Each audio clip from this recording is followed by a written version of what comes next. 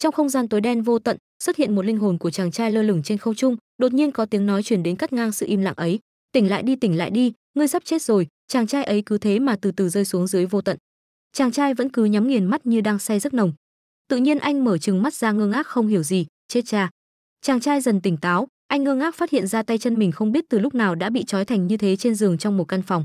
Chỉ thấy có vài tia sáng lọt vào, anh thầm nghĩ, đây là chuyện quái quỷ gì đây?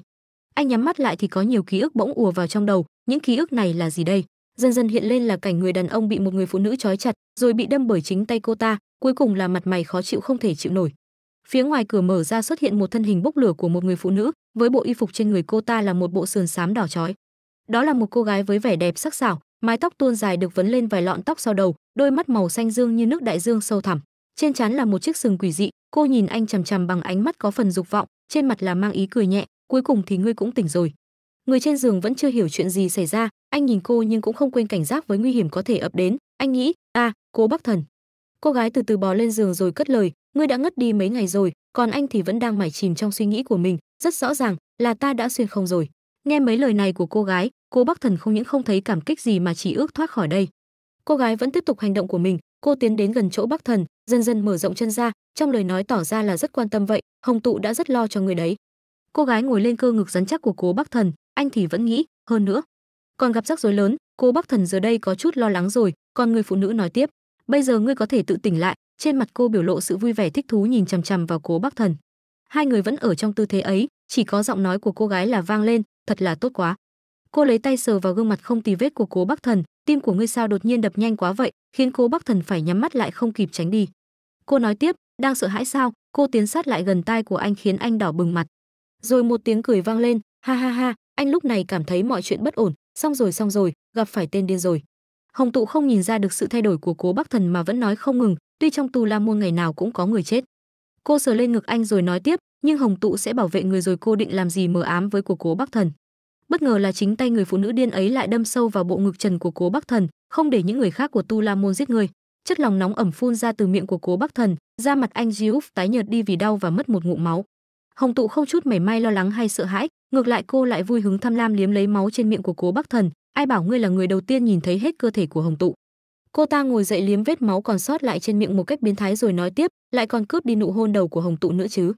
Cô bắc thần mặt mày nhợt nhạt, ánh mắt đang dần mờ đi, anh nghĩ thầm, không không phải là vừa đến đã chết luôn rồi chứ. Bất ngờ từ đâu bảng hệ thống hiện ra, hệ thống thánh nữ đang trói buộc kiểm tra được ký chủ đang gặp nguy hiểm có khởi động chức năng cưỡng chế cứu trợ hay không. Cô bắc thần mừng rỡ như bắt được vàng mặc dù anh đang cười nhưng cũng có thể nhìn ra là đang cố gắng để cười, cuối cùng đã đến rồi ta chờ mãi hệ thống đặc trưng của người xuyên không khởi động. Hồng tụ lúc này đang ôm chặt lấy cố bắc thần để thưởng thức, này nữ nhân, anh lên tiếng cắt ngang hành động của cô lại. Hồng tụ đang thưởng thức vui vẻ mà không mấy vui vẻ khi bị gọi, cô cau mày rồi cất lên một tiếng, ừm. Cô bắc thần nói lớn, ăn miếng trả miếng ta sẽ trả lại gấp đôi, ta sẽ khiến ngươi phải trả giá gấp đôi vì những chuyện mà ngươi làm. Đột nhiên ánh sáng phát ra trên người anh từ đâu đến.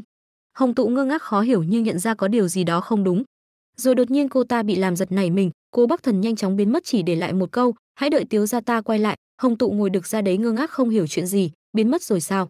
Không hiểu sao chỉ thấy cô mỉm cười nhẹ một cái, trong lời nói của hồng tụ thay vì tiếc nuối thì ngược lại cô cảm thấy hưng phấn lạ thường. Vậy mà còn có loại bản lĩnh này, hồng tụ đúng thật là càng ngày càng hứng thú với ngươi rồi đấy, khi cô gọi một tiếng phu quân.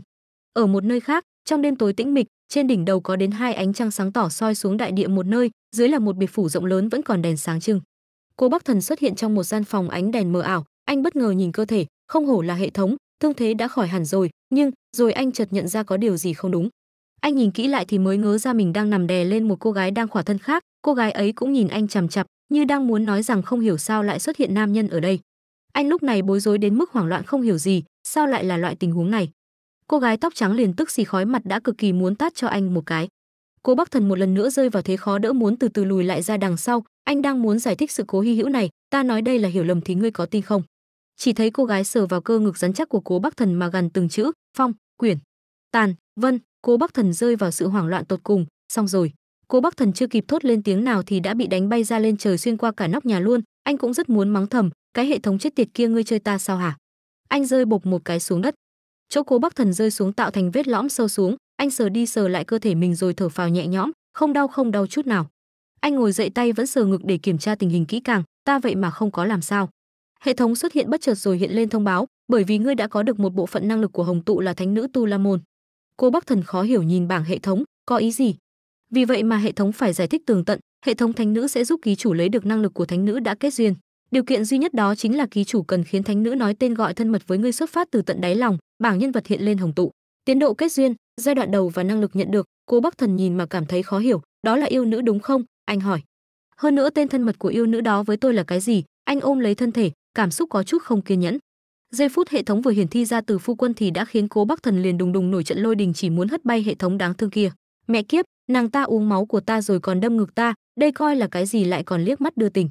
Bất ngờ có tiếng bước chân truyền tới từ xa tiến tới, có một cô gái đi từ cầu thanh xuống, giọng nói trong trẻo của cô cất lên, chịu một chiêu phong chuyển vân tàn của ta vậy mà lại không sao cả. Cô Bắc Thần có chút lo lắng rồi, đúng rồi mừng quá mức rồi, quên là tình hình bây giờ không đúng. Bóng người thướt tha đi nhẹ đến gần Cố Bắc Thần. Một thân ảnh trắng xóa đứng trước mặt Cố Bắc Thần, đôi mắt cô ấy dài trắng xóa, bộ y phục cũng là màu trắng thanh khiết điểm nhấn một vài chỗ càng thêm nổi bật, chẳng lẽ ngươi có chỗ dựa nên không sợ?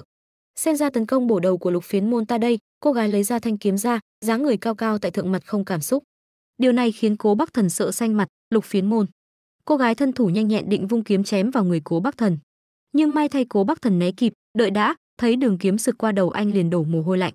Đây là một hiểu lầm, Cố Bắc vừa muốn né đòn tấn công vừa muốn giải thích rõ ràng, cô gái vẫn cứ thế chém vào người anh như để chút giận. Cô gái vẫn vung kiếm vào người anh mà chất vấn, hiểu lầm, Cố Bắc đành phải nhảy lên hết cỡ. Nhìn hết sạch cơ thể của ta, Cố Bắc Thần hoảng loạn không biết phải xử lý như nào. Cô gái rút kiếm lại gần người mình chuẩn bị chĩa kiếm ra đâm, mà ngươi lại dám nói là hiểu lầm, cô gái đó lửa giận hừng hực. Lưỡi kiếm lúc này đã kề sát cổ họng của Cố Bắc Thần, dâm tặc đi chết đi. Cố Bắc Thần đột nhiên biến mất giữa không trung, khiến cho cây kiếm đâm thẳng vào không khí không một bóng người. Cô gái chợt không thấy Cố Bắc Thần đâu liền có chút ngạc nhiên, biến mất rồi. Ở một nơi khác hiện đại như không gian của hệ thống, chính giữa căn phòng đó có một tia sáng hiện lên. Cố Bắc Thần rơi bịch một cái xuống đất, tư thế của anh vẫn là lấy tay đỡ lại sự tấn công của cô gái vừa rồi. Cố Bắc Thần hạ tay xuống một chút, thấy cảnh sắc thay đổi thì liền nghi hoặc quay ngang quay dọc xem xét tình hình. Tốt quá rồi ta không sao rồi, anh lại nhìn lên trên, có các dãy số kỳ lạ hiển hiện trước mặt. Anh đứng dậy lại nhìn ngó xung quanh thì thắc mắc không biết rõ đây là đâu, trên người lúc bấy giờ đã có y phục.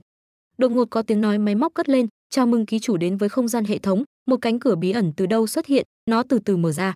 Ta là người chỉ dẫn của hệ thống thánh nữ có thể gọi là Mạt Thủ Cung, từ bên trong cánh cửa toàn là những mã ký tự đi ra là một cô gái đẹp tuyệt trần, cô nói tiếp, bởi vì thấy ký chủ đang đối diện với nguy hiểm cho nên đã tự ý kéo ký chủ vào không gian hệ thống, xin hãy lượng thứ, sau đó cô nhắm mắt lại như để tạ lỗi. Cô Bắc Thần thở phào một hơi rồi ngồi xuống sofa gần ấy, không sao dù sao thì là ngươi đã cứu ta, có thể giới thiệu là trong không gian hệ thống có chức năng gì không? Anh cũng nhân cơ hội hỏi thêm, có giống không gian của chủ thần không? Hệ thống trả lời, không gian hệ thống là không gian vô hạn thuộc về riêng ngươi, ngươi có thể vui chơi giải trí và rèn luyện năng lực của ngươi ở trong không gian bởi vì ký chủ chỉ nhận được năng lực từ trên người thánh nữ cho nên người muốn điều khiển năng lực dễ dàng thì phải rèn luyện. cô Bắc Thần xoa xoa cằm bày ra vẻ mặt không ngạc nhiên là mấy, thì ra là như vậy chẳng trách sau khi ta nhận được năng lực của Hồng Tụ vẫn không thể đánh lại được người nữ nhân kia. Hệ thống đưa ra giới thiệu nhiệm vụ, sau khi hoàn thành nhiệm vụ hoặc là tăng điểm của thanh công lực thánh nữ thì ngươi có thể nhận được cơ hội rút thưởng. Phần thưởng là vạn vật chư thiên trong đó xác suất nhận được vật phẩm liên quan đến thánh nữ là cao nhất. cô Bắc Thần gật gù, trò chơi rút thưởng à, ta hiểu rồi. Vậy bây giờ ta có thể rút được không? cô Bắc Thần đi đến quỳ xuống trước cái máy xong quay ra nhìn thủ cung. Cô đáp, bây giờ ký chủ có 5 cơ hội rút thưởng rút một lần hay rút 5 lần liên tiếp. cô Bắc Thần hào hứng vặn tay xoay, đương nhiên là rút từng lần một rồi vì rút một lần sẽ xuất hiện kỳ tích. Quả cầu màu xanh dương rơi xuống có dòng chữ phổ thông, rỗng. cô Bắc Thần đen mặt lại nhìn quả cầu phế phẩm này. Rồi anh tức giận ném quả cầu xuống đất, sao còn có rỗng vậy? Hệ thống chống lạnh lạnh lùng giải thích, thỉnh thoảng có một vài cá rỗng cũng là chuyện bình thường, cô Bắc Thần nghe vậy thì không khỏi mất bình tĩnh. cô Bắc Thần không chịu được lại xoay tay nắm rút thêm lần nữa, lại. Lần này là một quả cầu màu xanh lá, phổ thông phát thế đan, bên trong có một viên đan màu xanh đẹp mắt. Lại thêm lần quay nữa, quả cầu rơi xuống lại là màu xanh dương, phổ thông, rỗng. Lần quay tiếp của anh may mắn hơn ra được quả cầu tím hồng sặc sỡ, hiếm có, tu chân tam vấn, cô Bắc Thần tức điên người, toàn những cái gì đâu không. Phát cuối cùng ta không tin là không ra được, anh nghiến răng nghiến lợi nắm chặt tay rút lần cuối cùng. Máy vận may lại lần nữa sáng và rung lên. Mặt anh lúc này căng thẳng nhìn về phía chiếc máy, trên mặt lấm tấm chút mồ hôi, sắp ra rồi. Tiếng máy móc vang lên, truyền thuyết thiên âm chi thể, rơi xuống là một quả cầu vàng sáng lấp lánh, có một tấm thẻ nhỏ hình hồng tụ xuất hiện trong đó. Cô Bắc Thần vui mừng phát khóc, ra rồi ra rồi cuối cùng cũng ra. Hệ thống cũng vui vẻ mà vỗ tay, chúc mừng ký chủ đã nhận được thể chất của thánh nữ Tu La môn hồng tụ. Chiếc thẻ màu tím với hình ảnh của hồng tụ hiện lên đấy, nó như một chiếc móc chìa khóa vậy. Thiên âm chi thể có thể tăng cường khả năng nắm giữ quy tắc thuộc tính âm và linh lực thuộc tính âm, hệ thống lên tiếng. Cô Bắc Thần mặt mày nở hoa hỏi thủ cung, cái thứ này dùng kiểu gì thế? Nhưng hệ thống mặt lạnh như băng, nuốt nó. cô Bắc Thần sốc đến nỗi mà mắt chữ O mồm chữ A, nuốt. Hệ thống giải thích, ký chủ không cần lo lắng, mỗi tấm mica này đều có mùi vị khác nhau ví dụ như mùi dâu tây, mùi nước khoáng hoặc mùi đậu phụ thối trộn với mùi sầu riêng. Cố Bắc Thần run rẩy lẩy bẩy, mồ hôi chảy ròng ròng cùng gương mặt biến sắc khó coi, anh nhìn chằm chằm vào tấm mica của Hồng Tụ. Mùi vị cuối ta chưa từng nghe nói bao giờ, chẳng lẽ thế giới này có nhiều mùi vị kinh tởm như vậy sao?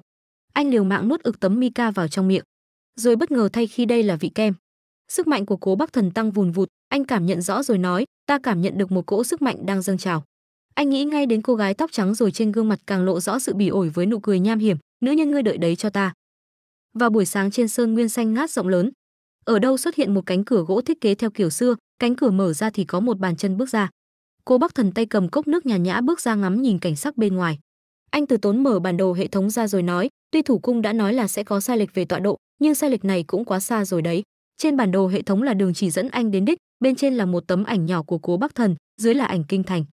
Cố Bắc Thần liền nhảy nhanh qua các ngọn núi, ta muốn về thành thì ít nhất cũng cần 3 ngày. Mấy ngày sau ở hộ Dực Thành, trên tường thành dán chi chít những tấm ảnh truy tìm Cố Bắc Thần. Có người cầm đèn soi đường gần đấy cất tiếng nhắc nhở, thời tiết khô hanh, cẩn thận củi lửa. Đằng khác, cũng có người thân thủ nhanh nhẹn tranh thủ trời tối nhảy qua các mái nhà. Trên nóc nhà nọ là thân ảnh của Cố Bắc Thần che khăn, anh thấy được có người đang đi gần đến thì nghĩ thầm, cuối cùng cũng đợi được ngươi rồi. Trong ba ngày ta không có ở trong thành, Cố Bắc Thần nhanh chóng rời khỏi mái nhà đó. Cố Bắc Thần nhanh nhẹn lao tới phía người kia, tên khốn này đã khiến ta đội tội danh hái hoa tặc. Thấy có người đang lao về phía mình, tên thần bí kia liền chú ý đến Cố Bắc Thần. Tên đó liền cảnh giác, ngươi là ai? Cố Bắc Thần nhìn hắn đáp, ta là đại gia của ngươi. Cố Bắc Thần tấn công, anh sử dụng thuật âm linh chỉ, tay anh liền bắn ra tia linh lực như xét đánh. Một lực đạo ấy bắn sượt qua vai tên kia khiến máu trên vai hắn chảy ra, Cố Bắc Thần thấy vậy thì cười nhẹ. Tên thần bí kia kinh ngạc, trong đó còn xen lẫn chút lo sợ không dám khinh thường, chuyện này sao có thể, thân thể hắn liền hóa thành khí đen định tan biến chuẩn đi. Cố Bắc Thần thấy tên đó tan biến đi mất thì mới mở khăn che mặt, anh ngồi xuống trên mái nhà rồi mở ra màn hình sáng xanh của hệ thống. Cố Bắc Thần liên lạc với hệ thống nữ lên tiếng hỏi, thủ cung ngươi từng nói đây là thế giới võ hiệp bình thường sẽ không xuất hiện mấy thứ quỷ quái. Hệ thống chống cằm đáp, đúng vậy. Cố Bắc Thần hỏi tiếp, vậy vì sao lại có vừa nãy xong? Hệ thống nhắc nhở, chuyện này cần ký chủ đi điều tra ra chân tướng. Bảng hệ thống lần nữa phát nhiệm vụ cho anh, tìm ra nguyên nhân quỷ quái xuất hiện tại Mai Siêu Châu, thưởng 10 lần rút thưởng. Cố Bắc Thần hào hứng nắm chặt tay thể hiện năng lực, nếu đã có phần thưởng thì ta nhất định sẽ tìm ra nguyên nhân cho ngươi. Dưới một con phố nhỏ có tiếng trèo kéo khách, nhiếp bổ đầu và trương bổ đầu, có muốn một bát bò thập cẩm không? Được cho ta hai bát. Ngoài đường nhiếp tiểu thiến và trương tam đang dạo phố, có vẻ như hai người đang bàn bạc nhau chuyện gì đó.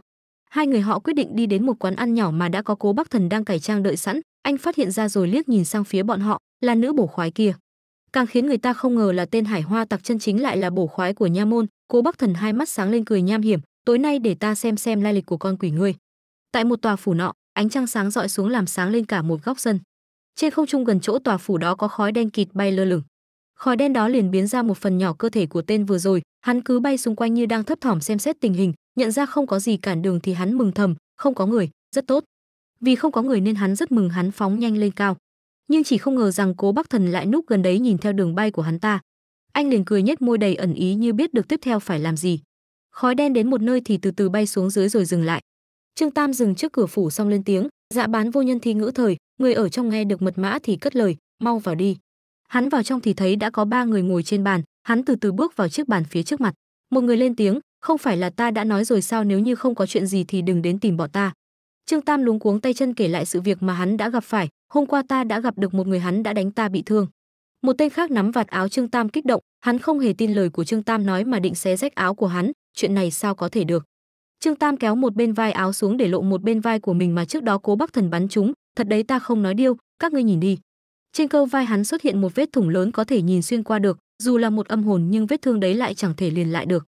Một người lo lắng hỏi, vậy mà lại là thật người đó là ai? Trương Tam chỉ đành bất lực đáp, ta cũng không rõ. Hai người trên bàn đã kích động đứng dậy đập bàn, họ đều quay sang người ngồi giữa hỏi, Vương Tử giờ phải làm sao đây, kế hoạch còn tiếp tục không? Tên ngồi giữa đan tay, sắc mặt lạnh lùng có chút câu có chứa sát khí, hắn dường như vẫn giữ quyết định cũ, kế hoạch tấn công cầu hoàng đế vào 10 ngày sau vẫn tiếp tục. Nhưng ta sẽ bảo tổ chức phái cao thủ đến chi viện chúng ta, Cố Bắc Thần ngồi trên mái nhà của tòa phủ nghe được toàn bộ những lời đối thoại vừa rồi. Anh nghe được hết kế hoạch của bọn chúng thì liền nhếch môi cười ẩn ý. Sáng hôm sau tại Tây Hồ trong xanh, cảnh sắc thiên nhiên trong lành. Gần đó có một toán binh đang đóng quân, thủ lĩnh của nhóm quân binh đó ra lệnh, tất cả vực tinh thần dậy hết cho ta, tất cả đều tuân mệnh hô lớn một tiếng vâng. Khi cả đoàn đi được vài bước thì thủ lĩnh đột nhiên phát hiện điều không đúng, hắn lên tiếng, tất cả đều đi theo. bất chợt tên thủ lĩnh đó liền nhắm ngay đến một tên binh lính lạ mặt, đợi chút đã sao ta chưa gặp ngươi. Binh lính liền khựng lại không bước tiếp nữa. Tên đó quay người lại chắp tay trả lời, báo cáo tướng quân ta vừa mới gia nhập. Thủ lĩnh đáp, vậy sao về đội đi? Tên binh sĩ liền vâng một tiếng. Tên thủ lĩnh cứ thế quay đi nhưng gương mặt tên lính lại trở nên nham hiểm với nụ cười xảo quyệt và có chút quen mắt.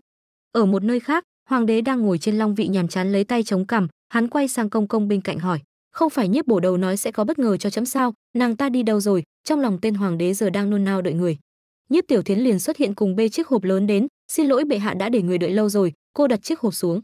Hoàng đế nhìn chiếc hộp tỏa ra khí lạnh thì ồ lên một tiếng tiếng hỏi, trong này là cái gì hơi tỏa ra thấy lành lạnh, băng sao? Nhiếp tiểu thiến đáp, mời bệ hạ xem, cô vừa nói xong thì lấy tay mở nắp hộp ra. Lập tức khí tỏa ra từ trong chiếc hộp thoát ra bên ngoài khiến cả hoàng đế và lão công công kinh ngạc một phen. Trước mắt họ là một bình nước và một ly thủy tinh được thiết kế tinh xảo, thiết kế này dường như không phải của thời đại này nhiếp tiểu thiến đưa tay ra mời, bệ hạ đây là bình rượu lưu ly và bên cạnh nó là chiếc ly lưu ly. Công công bên cạnh nhìn thấy thì mở to mắt ngạc nhiên, bệ hạ đây vậy mà lại là lưu ly, sao có thể trong suốt và long lanh như vậy? Hoàng đế cảm thấy có chút thú vị hỏi, nhiếp bổ đầu mau nói cho chấm biết là ngươi đã lấy thứ này ở đâu vậy? Nhiếp tiểu thiến đáp, trước lúc đó xin cho phép ta hỏi bệ hạ một câu, chẳng lẽ bệ hạ không tò mò là bên trong chiếc bình lưu ly này có chứa gì sao?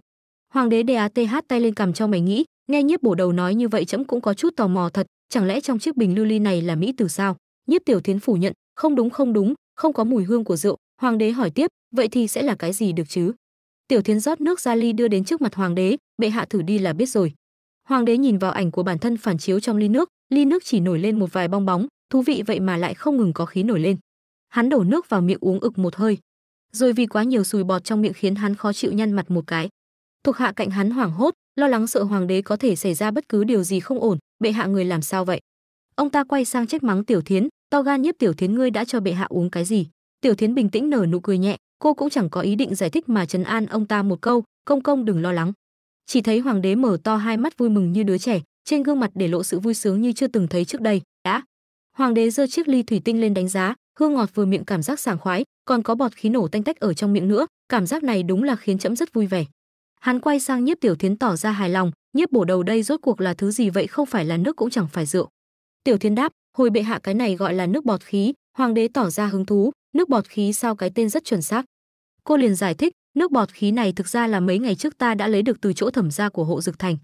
Bất ngờ có tiếng cảnh báo phát ra có thích khách hộ giá. Tán hồn oan trảo, những tia sáng liền xuất hiện một chiêu đó đủ để hất bay mấy tên lính gác từ ngoài cửa canh gác bị đánh thẳng vào phòng của hoàng đế cùng hai thuộc hạ. Tất cả mọi người trong phòng đều nất ngờ trước cảnh tượng này. Có hai tên binh lính liền bị đánh, hất bay đến trước mặt tiểu thiến khiến cô cảnh giác một phen. Cả hai người tiểu thiến và công công liền chắn trước mặt hoàng đế bảo vệ. Một tiếng nói quen thuộc với minh quảng kiên vang lên, chúng ta lại gặp nhau rồi. Một giọng nói quen thuộc cất lên cùng thân ảnh đầy sát khí xuất hiện trước mặt họ. Minh quảng kiên. Hoàng đế nhận ra được người trước mặt thì bất ngờ không thôi, nỗ xích nghi sao ngươi vẫn còn sống? Hắn liền nhớ lại đoạn ký ức hồi còn nhỏ đứng trước một hàng những tên đang bị trói là hoàng đế cao cao tại thượng cùng con trai của ông ta, một tiếng nói cất lên, bắc thanh hoàng tộc chu di cửu tộc. Hoàng đế nhỏ lúc này nhìn cảnh phải chém đầu liền lo lắng nhưng cũng chẳng làm được gì. Lập tức hành hình, tên bị chém chính là nộ xích nghi lúc còn sống. Hắn nhìn hoàng đế trước mặt thì trên gương mặt hắn lộ rõ vẻ tức giận cùng không cam lòng, lúc này tên đao phủ đã giơ cao thanh đao định chém xuống. Quay trở lại hiện tại, nhiếp tiểu thiến xông lên tấn công chỉ với một tay, phong quyển tàn vân. Công công bên cạnh cũng muốn góp sức, luân cốt miên trưởng cả hai gần như đã tiến gần đến nộ xích nghi cho hắn một trưởng nhưng chỉ thấy hắn nhàn nhạt, nhạt nói vô dụng thôi. Hai người kia chạm vào người nộ xích nghi nhưng đều xuyên qua hắn nên khó có thể tấn công được. Cả hai người đều kinh ngạc không thôi. Nộ xích nghi vung tay một cái phàm nhân không chạm vào thần được. Một chiêu của hắn đủ mạnh đánh hai người công công và tiểu thiến ra xa. Tiểu thiến liền bị đập lưng vào tường đau đớn. Còn công công thì ngã ra làm vỡ cả bình hoa quý. Nộ xích nghi nhân cơ hội đó đi gần đến minh quảng kiên hắn lấy tay của mình tóm lấy cổ minh quảng kiên rồi bóp chặt nó khiến hoàng đế khó có thể thở được. Nộ xích nghi nắm lấy cả quảng minh kiên xong giơ lên nói, đừng lo lắng, ta sẽ không giết ngươi, chỉ có ngươi sống thì bắc thanh ta mới có thể phục quốc được. Minh quảng kiên chật vật đổ mồ hôi nói, ngươi rốt cuộc là cái thứ gì? Chỉ thấy nộ xích nghi hai mắt trừng trừng, nhe răng cười quái dị đáp, ta là thần, là quỷ thần có pháp lực vô biên. Trong hang động tối om chỉ có chút ánh sáng ít ỏi le lói, có tiếng người mặc áo choàng lên tiếng gọi, hắn ta lấy ra một chiếc đầu lâu đáng sợ, yêu ma quỷ quái mau hiện thân yêu ma quỷ quái mau hiện thân, trước mắt tên áo choàng đen là một lỗ hổng vũ trụ. Từ từ trong cánh cổng không gian xuất hiện thân hình của nỗ xích nghi lúc này hắn đang nhắm mắt cúi gập người xuống. Nỗ xích nghi nhận ra khung cảnh khác thường thì nói, chào mừng trở về nỗ xích nghi xích nghi bị gọi về thì nhăn mặt khó hiểu. Nỗ xích nghi nhìn bản thân mình một lượt rồi vui mừng hô lớn, ta ta vẫn còn sống. Tốt quá rồi, ta còn sống. Ông ta càng hô lớn, nhưng lúc này đứng trong nước nên nước xung quanh ông ta cứ bắn tung tóe hết lên, còn tạt nước đến cả chỗ của kẻ thần bí ấy nhưng điều này dường như lại làm cho tên áo choàng đen tức giận hắn không nói gì chỉ sử dụng linh lực. Một trưởng vừa rồi của hắn khiến nộ xích nghi đang vui sướng hết, ta còn sống thì đột nhiên bị nước xung quanh bao lấy rồi bị trói chặt nguyên một chỗ. Tên áo đen dừng lại thấy bản thân bị trói như thế thì nỗ xích nghi mới chợt nhận ra tên áo choàng đen đứng cách đó không xa. Tên thần bí làm nỗ xích nghi từ cõi thiên đường xuống địa ngục chỉ bằng một câu nói chấp nhận sự thật đi đồ ngu. Ngươi đã chết rồi câu nói giáng một đòn mạnh vào tim đen của nỗ xích nghi khiến hắn nhớ lại mảnh ký ức không mấy tốt đẹp khi bị chém đầu. Hắn lo lắng cúi mặt thấp còn tên thần bí nhắc lại cho hắn nhớ là ta đã dùng pháp thuật để kéo quỷ hồn của ngươi trở về nhân gian. Tên áo choàng đen lấy một ít nước phía dưới chân hắn rồi nói, chết rồi.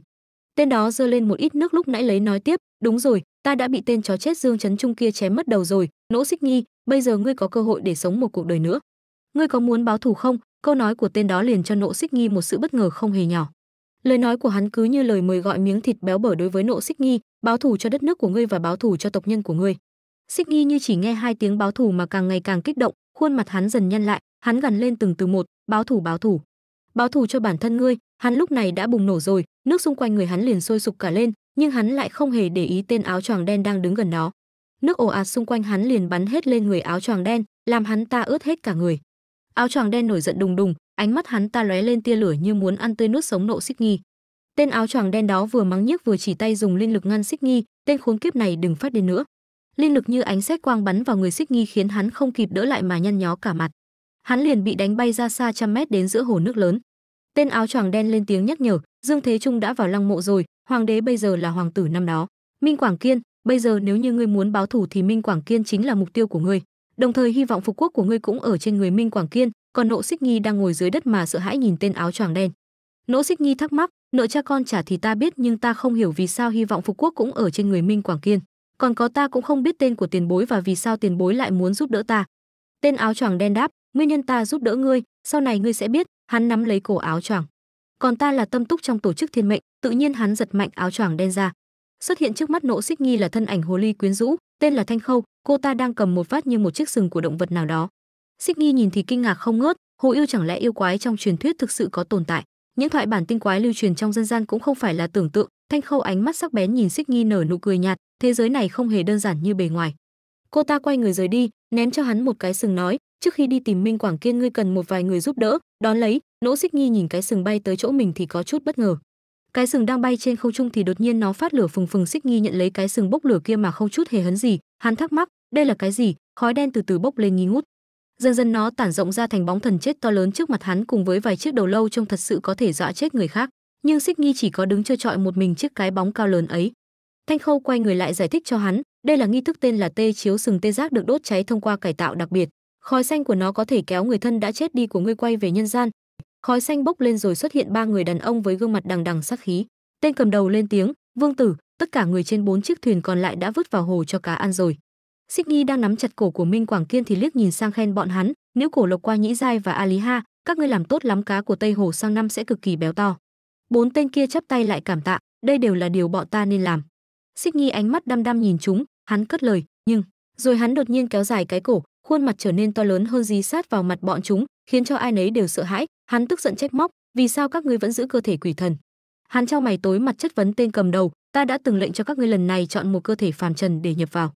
Mấy tên quỷ thần quỳ xuống vội xin tha, vương tử tha tội bọn ta chọn giữ cơ thể quỷ thần là bởi vì bọn ta tin như vậy có thể giúp đỡ được vương tử nhiều hơn thế nhưng nếu như bọn ta nhập vào cơ thể của phàm nhân thì sẽ mất đi sức mạnh thần kỳ của quỷ thần. Mấy tên đó sợ hãi mà đổ mồ hôi hột, mong có thể tha tội cho bọn chúng lần này.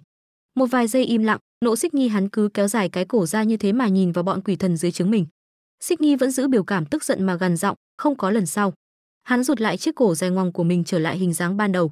Sắc khí nồng đậm của quỷ trên người hắn bắt đầu lan ra, gương mặt hắn âm u đến đáng sợ, ở đây còn có bốn cỗ thi thể, bây giờ các ngươi, mỗi người chọn một cái đi. Bốn người công công hai tên thủ vệ và tiểu thiến lúc bấy giờ đang nằm bất động trên sàn, nhưng trên gương mặt của một tên thị vệ có vẻ gì là lạ lắm. Mấy tên thủ hạ quỷ hồn kia cười nham hiểm tuân mệnh, bọn hắn hóa thành mấy cái linh hồn quỷ dữ bay lên. Còn xích nghi thì tỏa ra một luồng khí xanh quỷ dị, những luồng âm khí đó liền chui vào người quảng minh kiên. Hắn như có ý định nhập hồn vào tên hoàng đế đó, mặt hắn liền trở nên nham hiểm hơn nói, còn ta bây giờ sẽ nhập vào cơ thể của ngươi trở thành hoàng đế của đại minh. Minh quảng kiên bị nhập hồn thì không ngừng la hét trong vô vọng, mặt hắn lúc này vì quá đau đớn mà chảy mồ hôi đầm đìa nỗ xích nghi càng vui sướng phấn khích càng nói hăng hơn như để chút bỏ hết những gì hắn đã phải trải qua lúc đó hồn phách của hoàng tộc Bắc Thanh sẽ nhập vào con dân của ngươi dưới sự trợ giúp của ta. Như vậy Bắc Thanh ta ngồi không hưởng lộc thần không biết quỷ không hay mà chiếm hữu đại minh của ngươi thực hiện mục tiêu phục quốc. Cô Bắc Thần đóng giả thị vệ đang nằm bất động dưới sàn giả vờ bị đánh ngất đó nghĩ thầm, thủ cung nguyên nhân quỷ quái xuất hiện là bởi vì pháp thuật của Thanh Khâu trong tổ chức thiên mệnh và nghi thức tế chiếu mà nàng ta nói.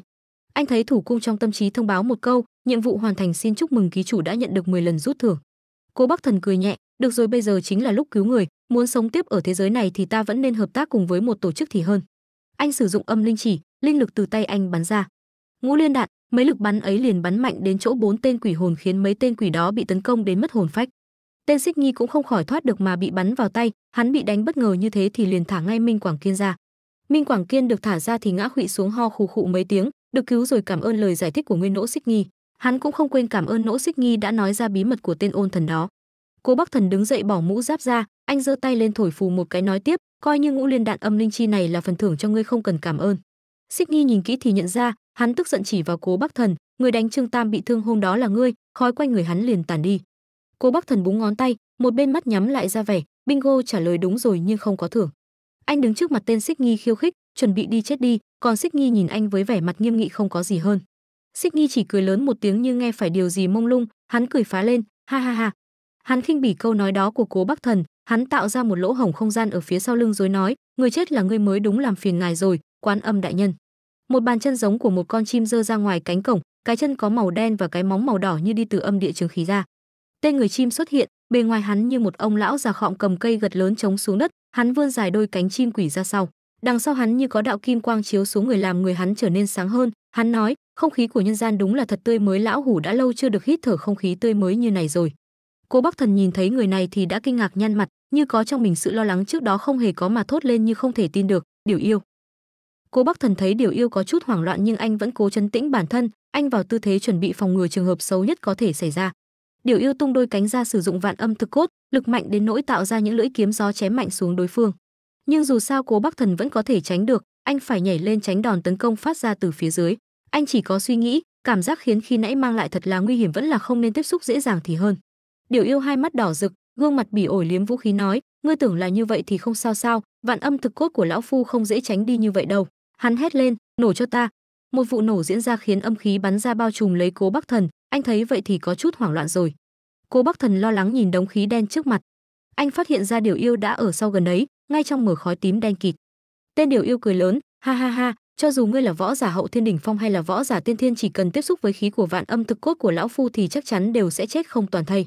Điệu cười khiến người khác giận cả tóc gáy, vạn âm thực cốt dùng tỷ lệ 82 để hòa âm khí và độc tố thần kinh lại với nhau, có năng lực ăn mòn của âm khí và năng lực tê liệt của độc tố thần kinh. Sau khi tiếp xúc với lượng lớn vạn âm thực cốt thì sẽ bị tê liệt bởi độc tố thần kinh dẫn đến mất đi khả năng hành động sau đó bị âm khí ăn mòn từ từ, cuối cùng là chết không toàn thây. Nhưng tiếc cho tên đó là Cố Bắc Thần không hề hấn gì, ngược lại còn từ khói tím một thân đi ra, anh chỉ từ tốn nói, "Thế sao? Y phục đã bị rách nát hết rồi đúng là nguy hiểm thật." Chỉ thấy trên người Cố Bắc Thần, y phục bị xước sát vài chỗ nhưng vẫn chả ảnh hưởng lớn gì đến anh, anh lấy tay xua đi đám khói bám quanh thân. Điều yêu thấy Cố Bắc Thần toàn thây đi ra chỉ bị vào vết rách y phục thì hoảng hốt, sao ngươi lại không sao? Cố Bắc Thần thân thủ nhanh nhẹn lấy tay vừa bắn ra nhiều tia đạn tấn công vừa đáp, vì sao? Ta cũng đang tìm nguyên nhân đây. Anh sử dụng âm khí đạn, bắn những quả cầu lửa ánh tím quỷ dị đến người điều yêu khiến hắn chỉ kịp hét lên một tiếng a.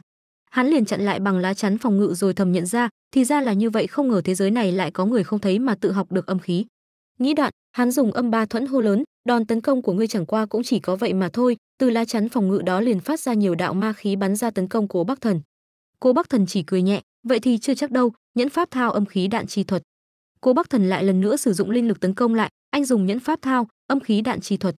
Đòn tấn công bị đánh ngược trở lại quay lại ra phía sau người tên tiểu yêu đó.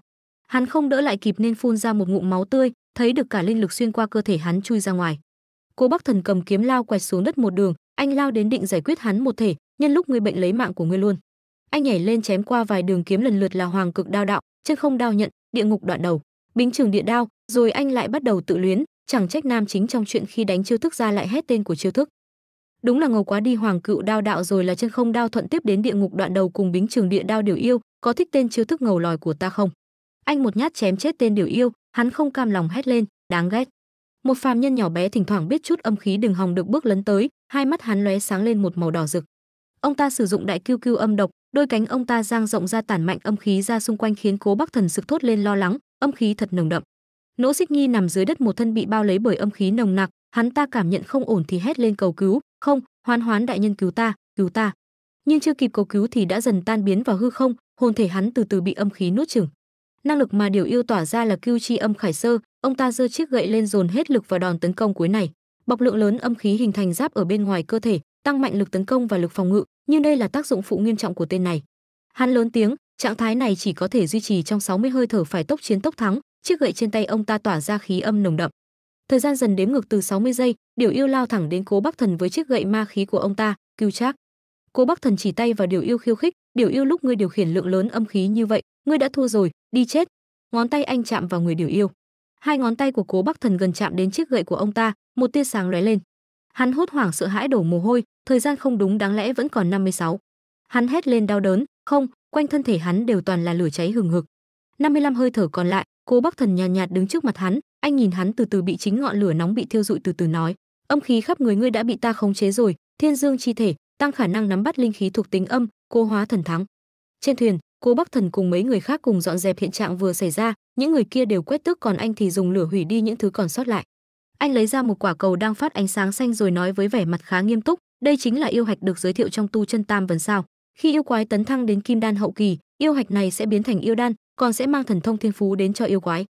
Cố bắc thần quay sang ra lệnh, các ngươi thu thập chỗ xương này lại một chỗ, sau đó dùng gỗ đào có nhiều dương khí nhất đốt chúng thành cho. Nhớ là nhất định phải dùng gỗ đào. Ba người kia chắp tay lại cung kính, đã rõ thiên sư trên trời có con quạ đen tuyền mắt tím xà xuống chiếc thuyền trong lúc cố bắc thần nhảy ra khỏi thuyền đi đến bên bờ. Nó không thấy có vật cản nào khác thì liền xà xuống chiếc thuyền đó. Con quạ đi đến gần bên cửa sổ, nó kêu cách một tiếng thì có một đệ tử quét tước phát hiện ra. Người đó liền lấy cái chổi hất vào con quạ đen hòng đuổi đi đi đi đi, cái thứ điểm xấu từ đâu tới. Nhưng con quạ đuổi thế nào cũng không đi, nó cứ vườn qua vườn lại chỗ đó chỉ để chờ cơ hội. Nó còn bạo dạn hơn khi chui vào mùng người đệ tử đó khiến hắn hét lớn. Người đàn ông ôm ngực, hắn có thấy đau đớn mà khuỵu xuống những người khác lo lắng đi đến xem tình hình, hồ lai ngươi không sao chứ? Chỉ thấy hồ lai đó trở lại bình thường rồi lắc đầu đáp, không sao, chỉ là chệch chân mà thôi, một người gần đó không thấy có chuyện gì nghiêm trọng thì nhắc nhở, nếu đã không sao thì mau đi làm việc đi. Hồ lai nhìn ra ngoài chỗ của cố bắc thần thì nghĩ thầm, nếu đã là người tu tiên, chẳng lẽ còn có tổ chức khác đang nhắm vào đây sao? Cố bắc thần đến chỗ bên kia bờ nói, những quỷ quái nỗ xích nghi này đã giết hết sạch rồi, bọn họ sẽ không xuất hiện nữa. Hoàng đế cung kính cảm tạ, đa tạ tiên sư, nhưng đột nhiên nhiếp tiểu thiến nhận ra cố bắc thần nhiếp tiểu thiến nhớ lại sự việc trước đó thì trở nên tức giận hét lớn lấy tay chỉ vào anh như đang tố cáo, bệ hạ, tên này chính là tên hái hoa dâm tặc. Cô bắc thần đỏ mặt lấy tay che miệng ho khụ khụ muốn giải thích, khụ khụ, thực ra ta đến từ môn phá tiên nhân đảo tam thanh. Bởi vì trí bảo tông môn cảm nhận được tiểu thế giới này xuất hiện yêu ma làm loạn nên đã phái ta xuống dáng yêu phục ma. Nhưng, trong quá trình truyền tống đã xảy ra chuyện ngoài ý muốn, khiến vị trí truyền tống của ta bị sai lệch. Do đó mới xảy ra chuyện hiểu lầm với nhiếp bổ đầu, anh nhớ lại cảnh tối đêm hôm trước thầm nghĩ, cũng may là có chuẩn bị trước hoàng đế vì giữ thể diện và cũng vì mục đích của bản thân, vì trường sinh bất lão, bây giờ cho dù là ai thì cũng không thể khiến chấm đắc tội với cố bắc thần được. Hắn quay sang nhiếp tiểu thiến nhắc nhở, nếu đã hiểu lầm thì nhiếp bổ đầu cũng nên xin lỗi cố tiên sư đi xóa bỏ hiểu lầm. Nhiếp tiểu thiến nghe hoàng đế ra lệnh thì cũng không muốn làm loạn lên, cô chỉ cúi đầu hối lỗi, lúc trước đã đắc tội rồi, mong cố tiên sư thứ lỗi, nhưng có lẽ trong thâm tâm cô vẫn muốn được chỉ trích cố bắc thần. Cố bắc thần cười nhẹ, không sao, cũng như người xưa đã nói không đánh không quen biết, nhưng tâm tư anh lại khác không khó để có thể nhìn ra tâm tư của tên cầu hoàng đế này bót đầu bò xuống nước, xem ra có người đã nổi tâm tư khác rồi. Hoàng đế vui vẻ lên tiếng, cố tiên sư, ngươi nói trong đại minh vẫn còn yêu nghiệt sao? Nếu như đúng lúc cố tiên nhân lại không có ở bên cạnh thì quả nhân phải làm sao mới được đây? Nếu như trẫm cũng có thể giống như cố tiên sư thì tốt rồi, ngươi nói có đúng không, cố tiên sư? Cố bắc thần cạn lời luôn rồi, anh chỉ cười trừ như phán đoán đúng ý nghĩ của cầu hoàng đế. Quả nhiên, cho là đời hoàng đế nào thì cũng đều giống như nhau, luôn ảo tưởng được trường sinh bất lão, vĩnh viễn ngồi trên đế vị cố bắc thần búng tay một cái, nếu đã như vậy. Rồi thoát cái anh liền biến mất trong hư vô, những người xung quanh đó đều kinh ngạc, biến mất rồi. Tên hoàng đế như vớ được vàng sừng sướng cười, ha ha, không hổ là bản lĩnh của tiên gia, có hy vọng thành tiên. Cố bắc thần trở lại không gian hệ thống, nhất định phải đánh bay ảo tưởng của cầu hoàng đế, tránh cho hắn sau này cứ quấn lấy không buông, được nước lấn tới, lần này trở lại thấy thủ cung đang ngồi trên ghế nhàn nhã đọc sách. Thủ cung vừa chăm chú vào quyển sách vừa thắc mắc hỏi cố bắc thần, chào mừng quay về ký chủ đã gặp phải phiền phức gì sao? Cô bắc thần kể lại chuyện vừa rồi. Gặp phải một tên cầu hoàng đế nằm mơ giữa ban ngày, ảo tưởng được trường sinh bất lão thì ngươi sẽ làm gì để đánh bay ảo tưởng của hắn? Thủ cung rời mắt khỏi quyển sách rồi quay sang liếc nhìn cố bắc thần. Người đăng cơ hoàng vị thông thường đều sẽ mất đi tư cách tu tiên. Còn về ký chủ muốn hắn biết khó mà lui, ta thấy ký chủ có thể hỏi mây gacha của hệ thống vạn năng. Cố bắc thần biết thừa ý của hệ thống, anh đi gần đến máy rút thưởng, ta thấy ngươi muốn lừa số lần rút thưởng của ta. Anh tiến đến máy quay thưởng quay nút, nhưng quay 10 lần liên tiếp cũng không tệ có lẽ sẽ rút ra được đạo cụ gì đó có thể giải quyết phiền phức này giúp ta. Bốn quả đầu anh rút được chỉ toàn là vỏ rỗng, rồi đến những quả sau là mấy lọ thuốc, một bình tịch cốc, đan xám. Tịch cố đan sau khi ăn thì có thể ba ngày không cần ăn uống gì, một bình khử độc đan phàm giai, xám. Khử độc đan phàm giai có thể giải được tất cả độc dược ở phàm gian. Một bình phách thế đan xám, phách thế đan chuyên dùng cho tu sĩ luyện khí kỳ, có thể tăng cường sức khỏe. Rồi tiếp đến là một viên thiên phú thủy tinh cầu lam. Thiên phú thủy tinh cầu, đạo cụ chuyên dùng để kiểm tra xem có linh căn hay không, công pháo thanh liên kiếm ca tập một quyển một tím thanh liên kiếm ca. Công pháp thành danh của thanh liên kiếm tiên, tập đầu tiên trong 10 tập thanh liên kiếm ca, độ hiếm có của máy gacha, xám bình thường đến lam hiếm có đến tím sử thi và cam truyền thuyết. Cố bắc thần vui sướng nhìn làn rút thăm may mắn nhất của mình, anh cầm quả cầu màu cam lên mà vui sướng tột độ. Không chỉ có đạo cụ giải quyết được phiền phức mà còn ra đồ tốt, xem ra ta cũng khá là may mắn, quả cầu màu cam truyền thuyết, năng lực đặc biệt giúp ngươi trong thể diện. Giúp ngươi trong thể diện, khi ngươi hỏi câu này với mục tiêu đơn mục tiêu sẽ rơi vào trạng thái cực kỳ sợ hãi, cứ ba ngày được sử dụng một lần, hệ thống lên tiếng giới thiệu. Cố bắc thần quay trở lại phàm gian, hoàng đế thấy anh quay trở lại thì cất giọng gọi, cố tiên sư, ngươi quay trở lại rồi. Hoàng đế chạm vào mà cố bắc thần mang về quả cầu liền kích động đến mất lý trí, thành tiên, chấm đến đây. Hắn cầm quả cầu trong tay lên nhưng quả cầu không chút thay đổi nào, nó vẫn giữ nguyên trạng thái cũ như, điều này như dội một gáo nước lạnh vào người tên hoàng đế. Cố bắc thần lên tiếng, xem ra bệ hạ không có thiên phú tu tiên rồi hoàng đế kịch động lo lắng nhìn chằm chằm quả cầu như không tin mà hét lớn, không thể nào, chấm là người đứng đầu cửu ngũ. Sao lại không có thiên phú được chứ? Cố bắc thần có phải đồ của ngươi đã hỏng rồi không? Hay là ngươi đang lừa chấm? Hắn tiến đến nắm vạt áo cố bắc thần. Đúng rồi, thoại bản dân gian đều nói tiên nhân có thể thay đổi thiên phú của người, cố bắc thần. Nếu ngươi đã là đồ đệ của tiên nhân thì sư phụ của ngươi chắc chắn là tiên nhân. Mau bảo sư phụ của ngươi đến đây, chấm sẽ trọng thưởng.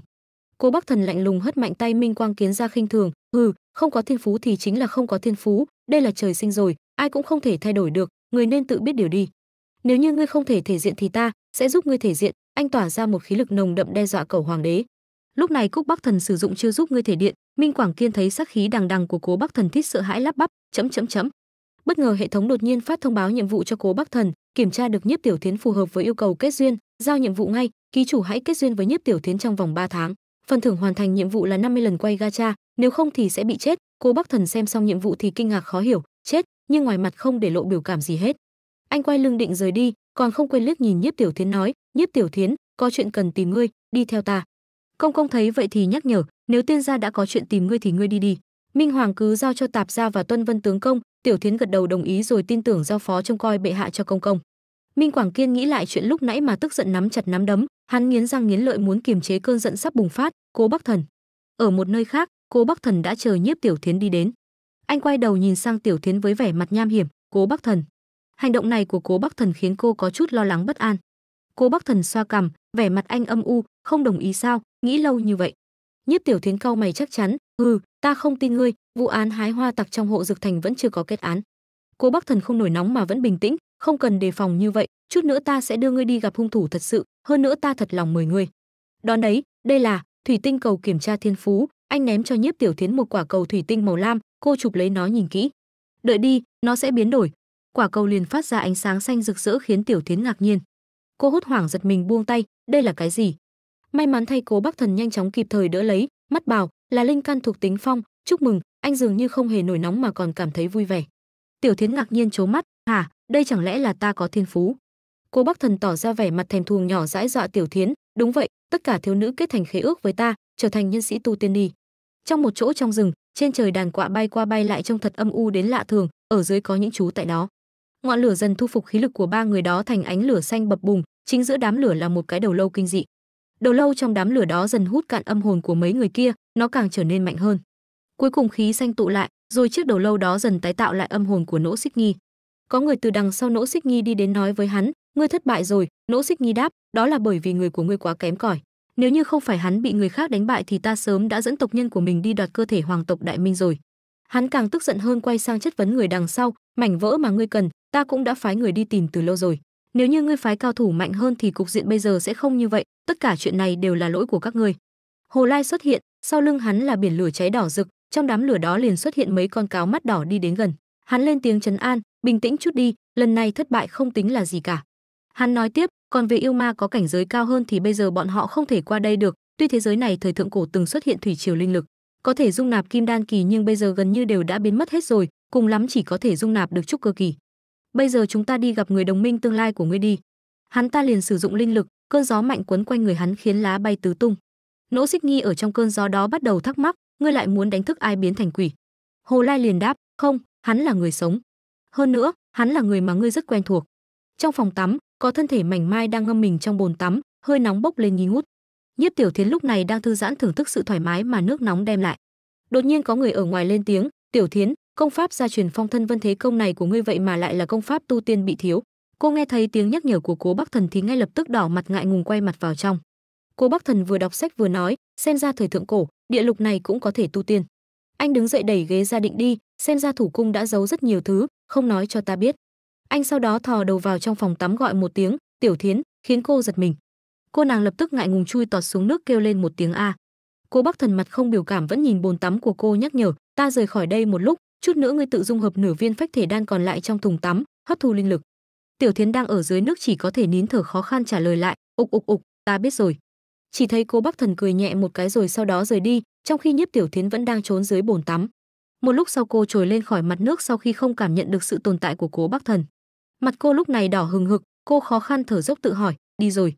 Cô bước chân ra khỏi bồn tắm, người cô lúc này vẫn còn ướt nhẹp, nước còn sót lại trên cơ thể từ từ nhỏ giọt xuống dưới sàn. Cô nói, cái gì mà ta không ở bên cạnh, tự tu luyện rất dễ tẩu hỏa nhập ma. Cô vừa lấy cái khăn tắm vắt trên cửa, ta thấy chỉ là lý do, còn nói không phải là dâm tặc, ta nhổ. Nhiếp tiểu thiến lúc bấy giờ chỉ quấn một chiếc khăn tắm để lộ phần da mịn màng trắng như tuyết cô chậm rãi bước ra khỏi phòng tắm đầy hơi nước xung quanh. Sau đó nhiếp tiểu thiến nhìn một lượt, ánh mắt dừng lại ở một chỗ. Trước mắt cô là mấy cái bánh quen thuộc, ấy đây không phải là điểm tâm nổi tiếng cực kỳ khó mua ở quế phương lan sao? Tên xấu xa cố bắc thần này vậy mà có thể tranh giành được, nể tình điểm tâm, tối nay ta tạm thời coi ngươi là người tốt, cô giơ tay ra chạm vào đĩa bánh. Cô định cầm lấy ăn thử một miếng nhưng đột nhiên có bàn tay cướp lấy của cô. Cô bắc thần thần nhiên cho miếng bánh vào mồm trước mặt nhiếp tiểu thiến, thêm cái nữa, ngon, điều này làm cô kinh ngạc há hốc mồm cô bắc thần vừa giơ ngón cái hướng về phía nhiếp tiểu thiến vừa khen, tuy không phải lần đầu tiên nhưng ta vẫn muốn nói câu khen ngợi đến muộn này, ngươi rất xinh đẹp. Tiểu thiến thấy cố bắc thần thì liền bất ngờ. Cô tức giận bừng bừng hét lên, dâm tặc, ta phải giết ngươi. Vào buổi tối trong cung điện, bên ngoài của chỉ có hai người canh gác dưới ánh trăng sáng soi xuống dưới. Minh quảng kiên ở trong phòng tức điên người hất bay những gì trên bàn, hắn càng nghĩ càng tức mà quát tháo, dám sỉ nhục chấm như vậy, chấm phải chém đầu của cố bắc thần. Còn có nữ nhân nhiếp tiểu thiến này, chấm phải để cẩm y vệ giày vò nàng ta để nàng ta nôn tất cả những thứ lấy được từ chỗ của cố bắc thần. Sau đó ngũ mã phanh thay rồi sẽ có một ngày chấm sẽ, hắn lại cầm lấy những tờ giấy khác tự tay xé đi như để chút bỏ cơn giận khi nghĩ đến cố bắc thần cùng nhiếp tiểu thiến. Đầu của hắn đột nhiên nhói đau, hắn ôm đầu kêu lên, a, đầu lại đau rồi. Tự nhiên cánh cửa mở ra, làn khí âm tràn vào. Xuyên khung, bạch chỉ, bạch thược, thiên ma, đương quy, bất ngờ có giọng nói cất lên, trước cửa phòng là bóng của hai người đàn ông đang đi vào trong hai bóng người đó dần hiện rõ lên là nỗ xích nghi cùng hồ lai. Hai tên đó cười gian tà khi nhìn thấy cảnh minh quảng kiên đang quằn quại trong sự đau đớn. Hồ lai nói, xem ra bệ hạ của chúng ta lại bị đau đầu nghiêm trọng rồi. Minh quảng kiên nhìn thấy hồ lai cùng nỗ xích nghi thì hoảng loạn một phen. Hắn vừa ôm đầu vừa lo lắng gọi thủ vệ bảo vệ mình. Ai, tuân văn, ngụy trung, mau đến hộ giá. Nhưng cả hai người đều bị đánh ngất ngoài cửa. Hồ lai cùng nỗ xích nghi tiến gần đến chỗ minh quảng kiên. Bệ hạ, không cần hết nữa, thủ vệ bên ngoài đều đã hôn mê hết rồi xích nghi biết được người mà hồ lai nhắc đến trước đó là tên cầu hoàng đế thì khinh bỉ ra mặt, sao lại là tên phế vật này? Còn không bằng để ta nhập vào, minh quảng kiên càng hoảng sợ hơn, nỗ nỗ xích nghi, ngươi không phải ngươi đã chết rồi sao? Sắc mặt xích nghi âm u, hắn nở nụ cười tà ác đến đáng sợ. Hắn liền bày ra tư thế quỷ dị nào đó. Rồi hắn ta quyết định kéo dài cái cổ đến gần quảng kiên, ta đã chết rồi, đã bị âm khí dày đặc, ác liệt rồi, nhưng ta lại sống rồi, điều này làm cho minh quảng kiên sợ hãi ngã phịch xuống kêu thảm thiết minh quảng kiên sợ hãi đến nỗi phải lấy tay chắn đi đòn tấn công mà xích nghi hắn có thể mang đến, miệng tên cẩu hoàng đế đó vẫn không ngừng hét toáng lên. Hồ lai vỗ tay một cái, những dây chói màu xanh từ tay hắn phát ra ngoài, được rồi nỗ xích nghi. Mấy cái dây thừng đó nhanh chóng quấn quanh người nỗ xích nghi buộc hắn phải dừng lại hành động định làm. Rồi nỗ xích nghi trở về trạng thái ban đầu, còn hồ lai lên tiếng, đừng dọa đối tượng hợp tác của chúng ta sợ, minh hoàng, cách nghĩ của ngươi là gì? Minh quảng kiên đập tay xuống bàn nhăn mặt cố gắng ngồi vững, ta có thể nhận được lợi ích gì, nếu như ta muốn trường sinh hành động gắng gượng ấy cảm giác như hắn thật đáng thương làm sao. Hồ lai cười khúc khích, không vấn đề, không giống như cố bắc thần, bây giờ ta có thể làm cho ngươi có tư cách. Hồ lai đập bộc phát vào lưng xích nghi, bây giờ đến lượt ngươi phát huy tác dụng rồi, đi đi. Xích nghi bị đẩy lên phía quảng kiên liền bất ngờ, nữ nhân thối, ngươi lừa ta. Hắn lao vào người quảng kiên, hai người va vào nhau. Hồ lai tiếp tục, sau khi bí thuật kết thúc, các ngươi sẽ hợp thành một thể, còn minh quảng kiên, ngươi sẽ tái hiện lại sự tồn tại của linh căn tiên tổ thời kỳ linh khí triều tịch ánh sáng xanh phát ra từ hai người họ như thể hai người chuẩn bị hòa làm một. Trong không gian hệ thống, Cô bắc thần ngồi trên sofa nhìn thủ cung, anh chống cằm thắc mắc, linh khí triều tịch là sao? Hệ thống giải thích, đúng vậy, cứ mỗi ngàn năm linh khí triều tịch sẽ đi qua thế giới này, mở ra thời đại tu tiên duy trì trong 200 năm.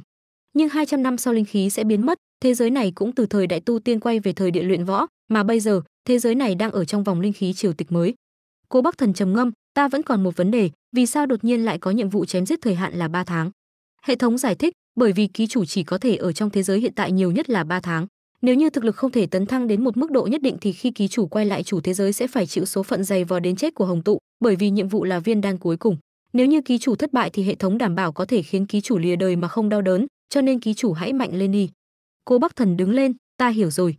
Anh nghĩ đến nhiếp tiểu thiến với những trạng thái khác nhau khi độ hảo cảm của cô đã đạt đến mức gần như tuyệt đối. Rồi anh nắm chặt nắm đấm quyết tâm vì để sống tiếp, ta nhất định phải kết duyên với nhiếp tiểu thiến, để nàng yêu ta say đắm trung thủy cho đến tận lúc chết. Khi trở về hộ dực thành, mặt trời lúc này đã đi gần đến giữa trưa. Nhiếp tiểu thiến nằm trên giường mở hé mắt thì thấy bóng dáng của cố bắc thần. Đột nhiên cô mở to mắt ra. Sau đó liền sực tỉnh, cô đang nằm trên giường chỉ có một mảnh chăn che thân thể mình. Cô hoảng hốt, ngươi ngươi đang làm gì vậy? Cố bắc thần vừa bê thức ăn vừa nói, ngươi dậy rồi. Bởi vì không biết ngươi thích ăn cái gì nên ta đã mua hết những điểm tâm buổi sáng có thể mua được về. Anh đặt đồ ăn xuống trên bàn lúc này đã có mấy món ăn phong phú cho nhiếp tiểu thiến. Nhiếp tiểu thiến có chút dao động. A à, ngươi có lòng rồi. Nhưng cô thấy túi tiền mà cố bắc thần ném về phía cô. Cô liền tức giận đứng dậy khỏi giường. Cô gần từng chữ một cố bắc thần ngươi có thể giải thích được là tiền của ta đã đi đâu rồi không? Cô hét lớn chất vấn. Cố bắc thần không để lọt vào tai câu nào mà vẫn thản nhiên ăn sáng. Cái này à bởi vì tiền mua điểm tâm sáng không đủ nên ta tạm thời mượn chút tiền trong túi của ngươi nhưng ngươi không cần lo lắng ăn cơm xong ta sẽ đến thẩm ra lấy tiền rồi trả cho ngươi. Há cảo nhân tôm này nhiều nhân thật, xem ra là bên trong nhất định có cả một con tôm to. Nhiếp tiểu thiến tức điên người nắm chặt nắm đấm muốn đánh người đến nơi, mượn chút tiền từ trong túi ngươi ngươi nói như này là một chút. Cố bắc thần xem kiến đây, nhiếp tiểu thiến rút kiếm ra định chém tên phản thần kia làm gì có cố bắc thần thì nhởn nhơ chơi đùa. Tiểu thiến, có chuyện thì nói chuyện, tứ tằng từng nói. Mỹ nữ động khẩu không động thủ. Trong phòng tập cố bắc thần đang luyện tập cho nhiếp tiểu thiến. Cố bắc thần lúc này thử sức cô bằng sử dụng đạn âm khí bắn vào nhiếp tiểu thiến những tia lực đạn lao thẳng ra về phía nhiếp tiểu thiến tấn công cô. Nhưng cô vẫn bình thản chỉ đứng đấy mặc cho đạn âm khí lao như vũ bão đến gần. Cô mở cặp mắt đỏ rực, phong thể, linh lực xung quanh cô xuất hiện. Nó liền tạo ra cơn lốc xoáy dữ dội ngăn chặn lực âm khí tấn công từ cố bắc thần. Cố bắc thần cười hài lòng, tốt quá rồi, cuối cùng cũng thành công rồi, nghiên cứu một tháng, cuối cùng cũng phục hồi được phong thể trong công pháp gia truyền phong thế vân thân của tiểu thiến rồi hơn nữa độ hảo cảm của nàng ta đối với ta cũng sắp đến mức cao nhất rồi. Đây coi như là song hỉ lâm môn, bảng hệ thống hiện lên, độ hảo cảm của nhiếp tiểu thiến dành cho anh là 38. nếu phong thể đã hoàn thành rồi thì chúng ta ra ngoài thôi cố bắc thần liếc sang nhiếp tiểu thiến nói. Tiểu thiến đáp vâng sư tôn. Hai người định đi ra cố bắc thần đi phía trước, nhiếp tiểu thiến liền theo sau đó. Một bên khác, cửa động mở ra, khói bay mù mịt tràn ra ngoài. Bóng dáng của minh quảng kiên đi ra, trên người hắn không có lấy một bộ y phục nào hết để lộ ra gương mặt của nỗ xích nhi gắn chặt trên người hắn, cả hai thủ hạ của hắn đều lên tiếng, cung nghênh bệ hạ xuất quan. Quảng kiên hỏi, một tháng trôi qua rồi, đã tìm thấy chưa? Xích nhi cũng nói, thứ mà nữ nhân kia muốn. Hai người kia thân tàn ma dại như bị hút hết dương khí, bọn họ thân thể mệt mỏi lên tiếng, bẩm bệ hạ, kim lăng thành, tìm thấy rồi, rất nhiều mạng người.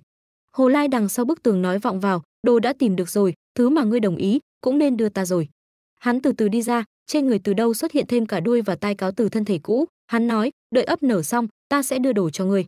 Xích nghi nghe đoạn có chút cau mày nghi hoặc, vì sao ngươi không tự ra tay? Với thực lực của ngươi, trên thế giới này không ai có thể ngăn cản được ngươi cả, vì sao còn cần bọn ta? Hồ lai đứng yên tại chỗ đáp, đối với thế giới mà nói ta là một con mọt độc khoét, nếu làm bậy thì sẽ bị dí chết, còn các ngươi thì khác. Hồ lai nói tiếp, bởi vì trên người các ngươi có vết tích của thiên mệnh, cho nên ta cần các ngươi. Minh quảng kiên cùng xích nghi đều nhìn nhau cười. Bọn hắn cùng kích động nở nụ cười gian ác, thì ra là như vậy, đã nghe thấy gì chưa? Trên người chúng ta có thiên mệnh. Ha ha ha ha. Chúng ta là thiên mệnh. Chúng ta chắc chắn là sẽ ngày càng lớn mạnh.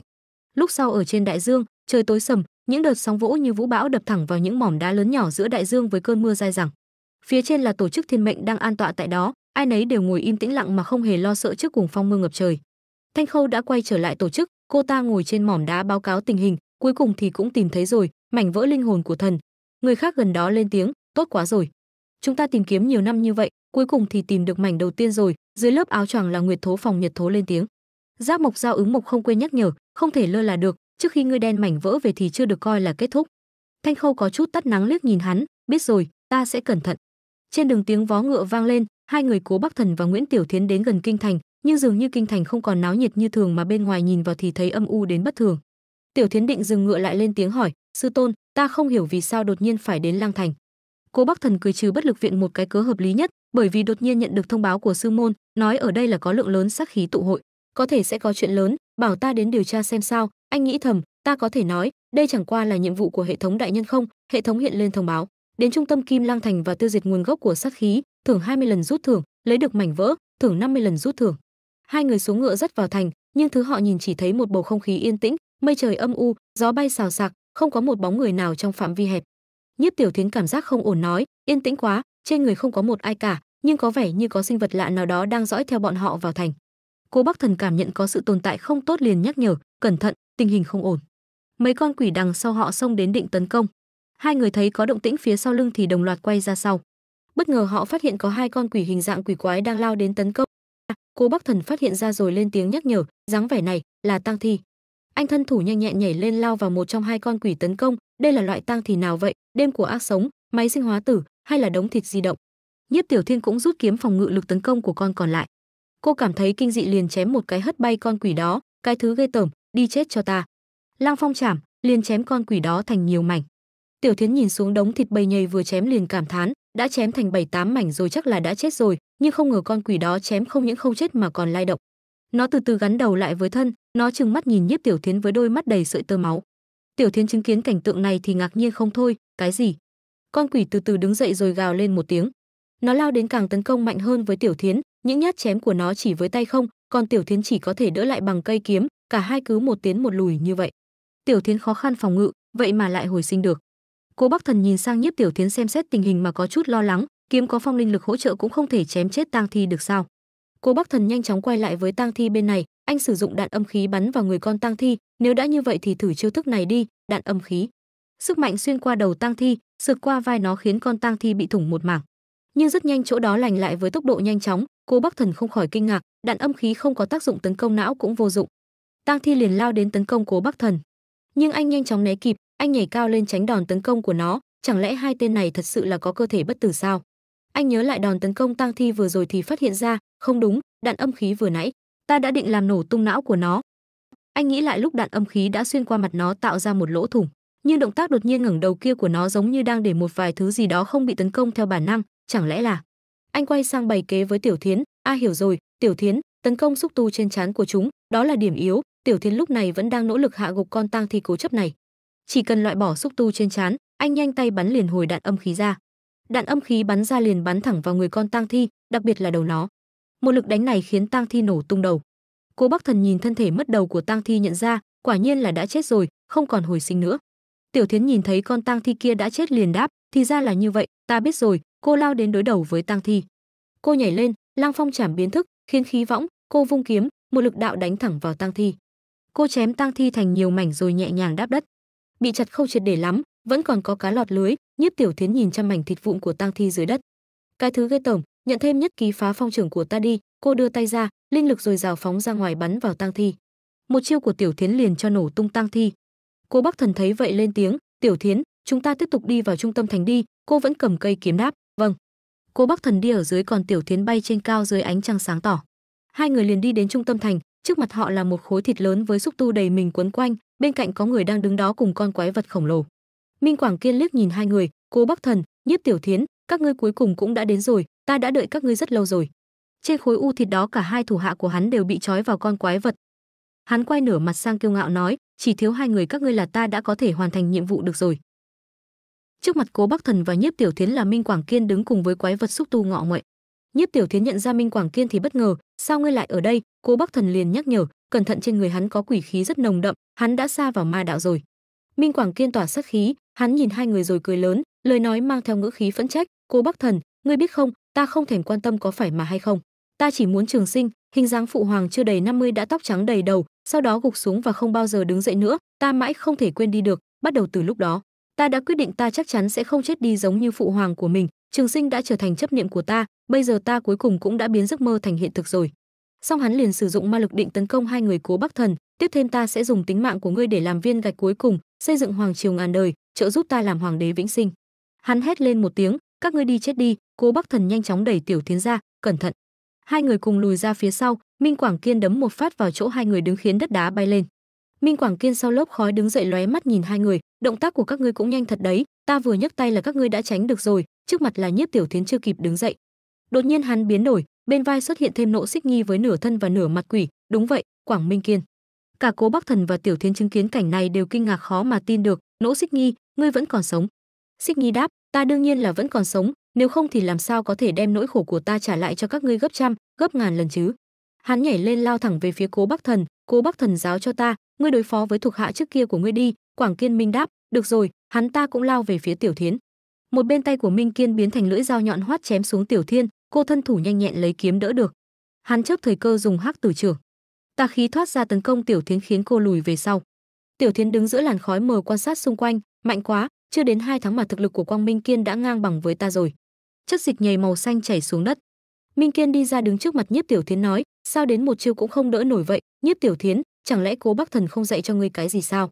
Hắn trong lòng thầm vui sướng quả nhiên hợp tác với tâm nguyệt hồ là chính xác chỉ cần một tháng mà ta đã mạnh hơn nhiếp tiểu thiến phải khổ luyện 20 năm.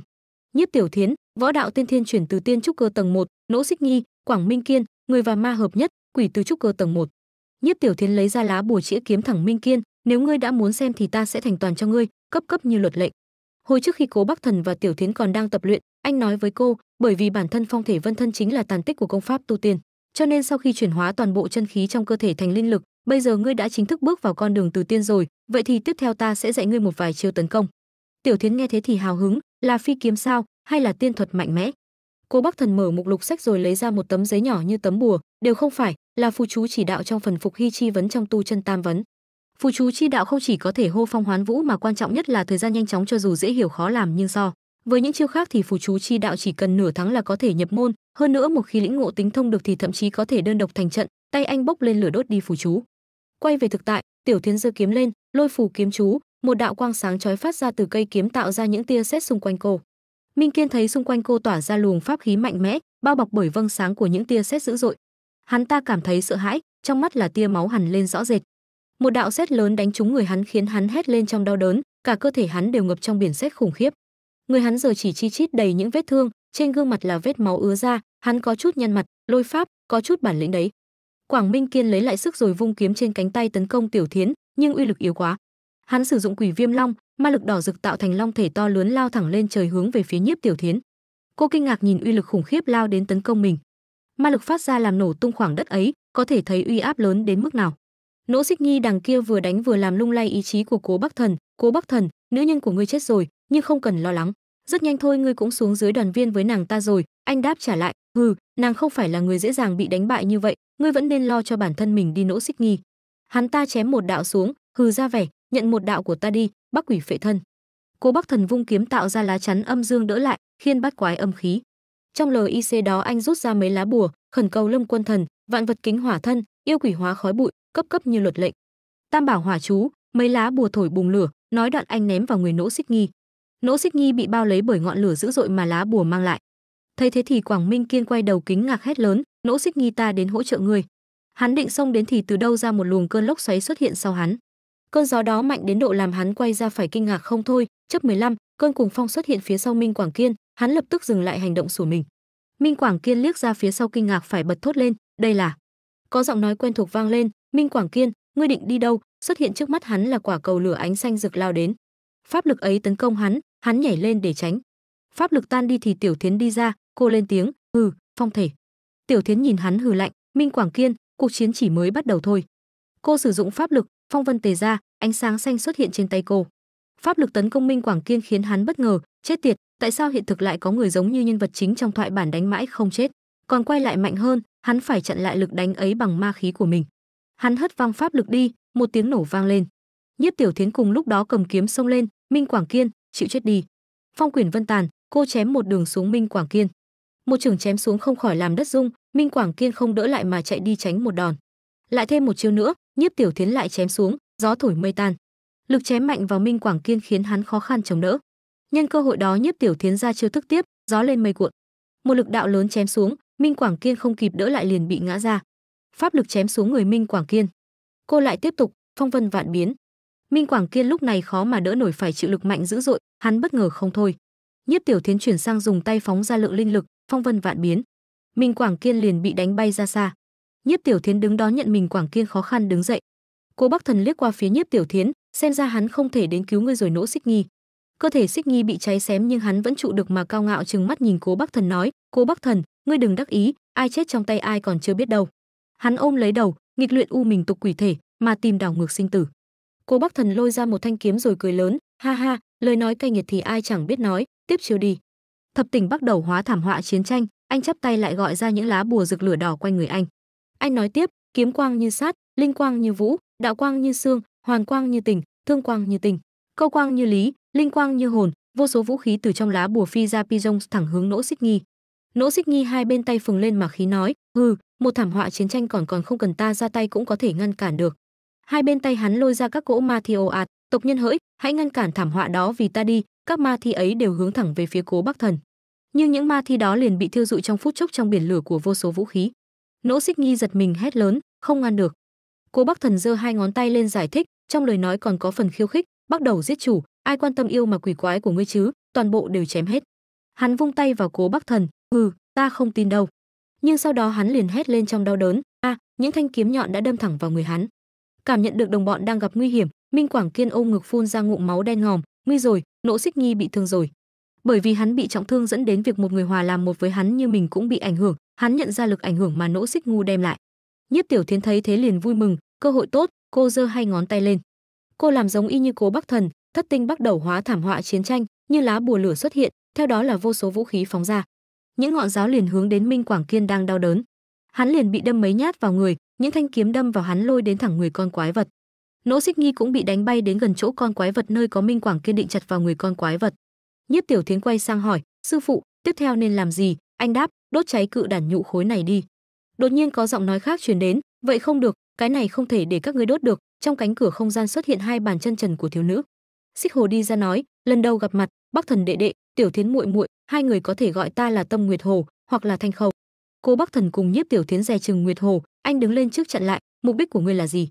Thanh khâu đáp, ta đến từ một nơi xa xôi, nguyên nhân đến thế giới thiên nguyên này rất đơn giản, chỉ là vì thu hồi lại các mảnh vỡ linh hồn của thiên thần còn về việc tại sao muốn thức tỉnh linh hồn của nộ xích nghi là vì hắn có xung đột với minh hoàng hiện tại. Cô ta lơ lửng phúa trên không trung nói, ta cần thi thể của hắn để kích thích đế lòng khí trên người minh hoàng, sau đó dùng khí của song đế để đánh thức mảnh vỡ linh hồn của thiên thần. Cô bắc thần không giảm sự dè chừng mà còn định phòng thủ tấn công, thiên thần trong lời ngươi là ai? Thượng đế hay phật tổ? Thanh khâu kể lại câu chuyện tưởng như rất hoang đường, từng có một thế giới thứ nguyên vô cùng bao la, đó là thế giới bi thảm bị một vị thần xấu xa thống trị. Ký ức quay về thời đại ấy, nhưng con người ở thế giới đó đều mất đi hy vọng trong lòng họ chỉ có tuyệt vọng. Sau đó vị thần mới xuất hiện tại, chúng sinh ta gọi là thiên thần. Thiên thần dẫn dắt mọi người, lật đổ sự thống trị của vị thần xấu xa, con quái vật ấy liền bị tấn công bởi đạo quang sáng chói. Nhưng thiên thần và vị thần xấu xa xa ấy cùng nhau đi đến cái chết, linh hồn của thiên thần và hoại thần đề hóa thành vô số mảnh vỡ rơi vào vô số thế giới thứ nguyên. Trong không gian bao la ấy là vô số bong bóng chứa đựng mảnh hồn của hai người họ. Mà mục đích của ta hoặc có thể nói là mục đích của tổ chức thiên mệnh chính là giúp tân thần sống lại, bắc thần đệ đệ. Để chọn đứng về phe nào thần lương thiện hay là vị thần xấu xa độc ác, cô ta đưa dây ra như thể có ý định mời gọi cố bắc thần. Cố bắc thần nghĩ thầm, áp lực con hồ yêu đè ép lên mình nhiều hơn số với hồng tụ bạn đầu, không được lỗ mãng, nhất định phải cẩn thận, anh lạnh giọng nói, hừ ta chẳng giúp bên nào cả.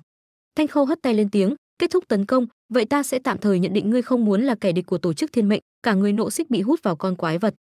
Nếu đã vậy thì ta không truy cứu chuyện không vui trước đó nữa, ngươi cũng đừng quan tâm chuyện này, xoay người rời đi, thế nào, con quái vật nuốt chọn minh quảng kiên và nỗ xích nghi thanh khâu nói tiếp, tiện thể nói luôn, mặc dù bị ý thức thế giới của đại lục thiên nguyên áp chế nhưng nếu nguyện ý thì ta cũng có thể thi triển ra sức mạnh ngang với nguyên anh kỳ, mặc dù chỉ có thời gian mười mấy giây. Con quái vật sau lưng thanh khâu đột nhiên từ từ tách lớp thịt như ngoác cái miệng ra. Nó thở ra luồng ma khí nồng đậm. Cô bắc thần cùng nhiếp tiểu thiến cảm giác lo lắng, cô lên tiếng hỏi, đó là cái gì? Còn anh thì sững sờ nhìn quái vật.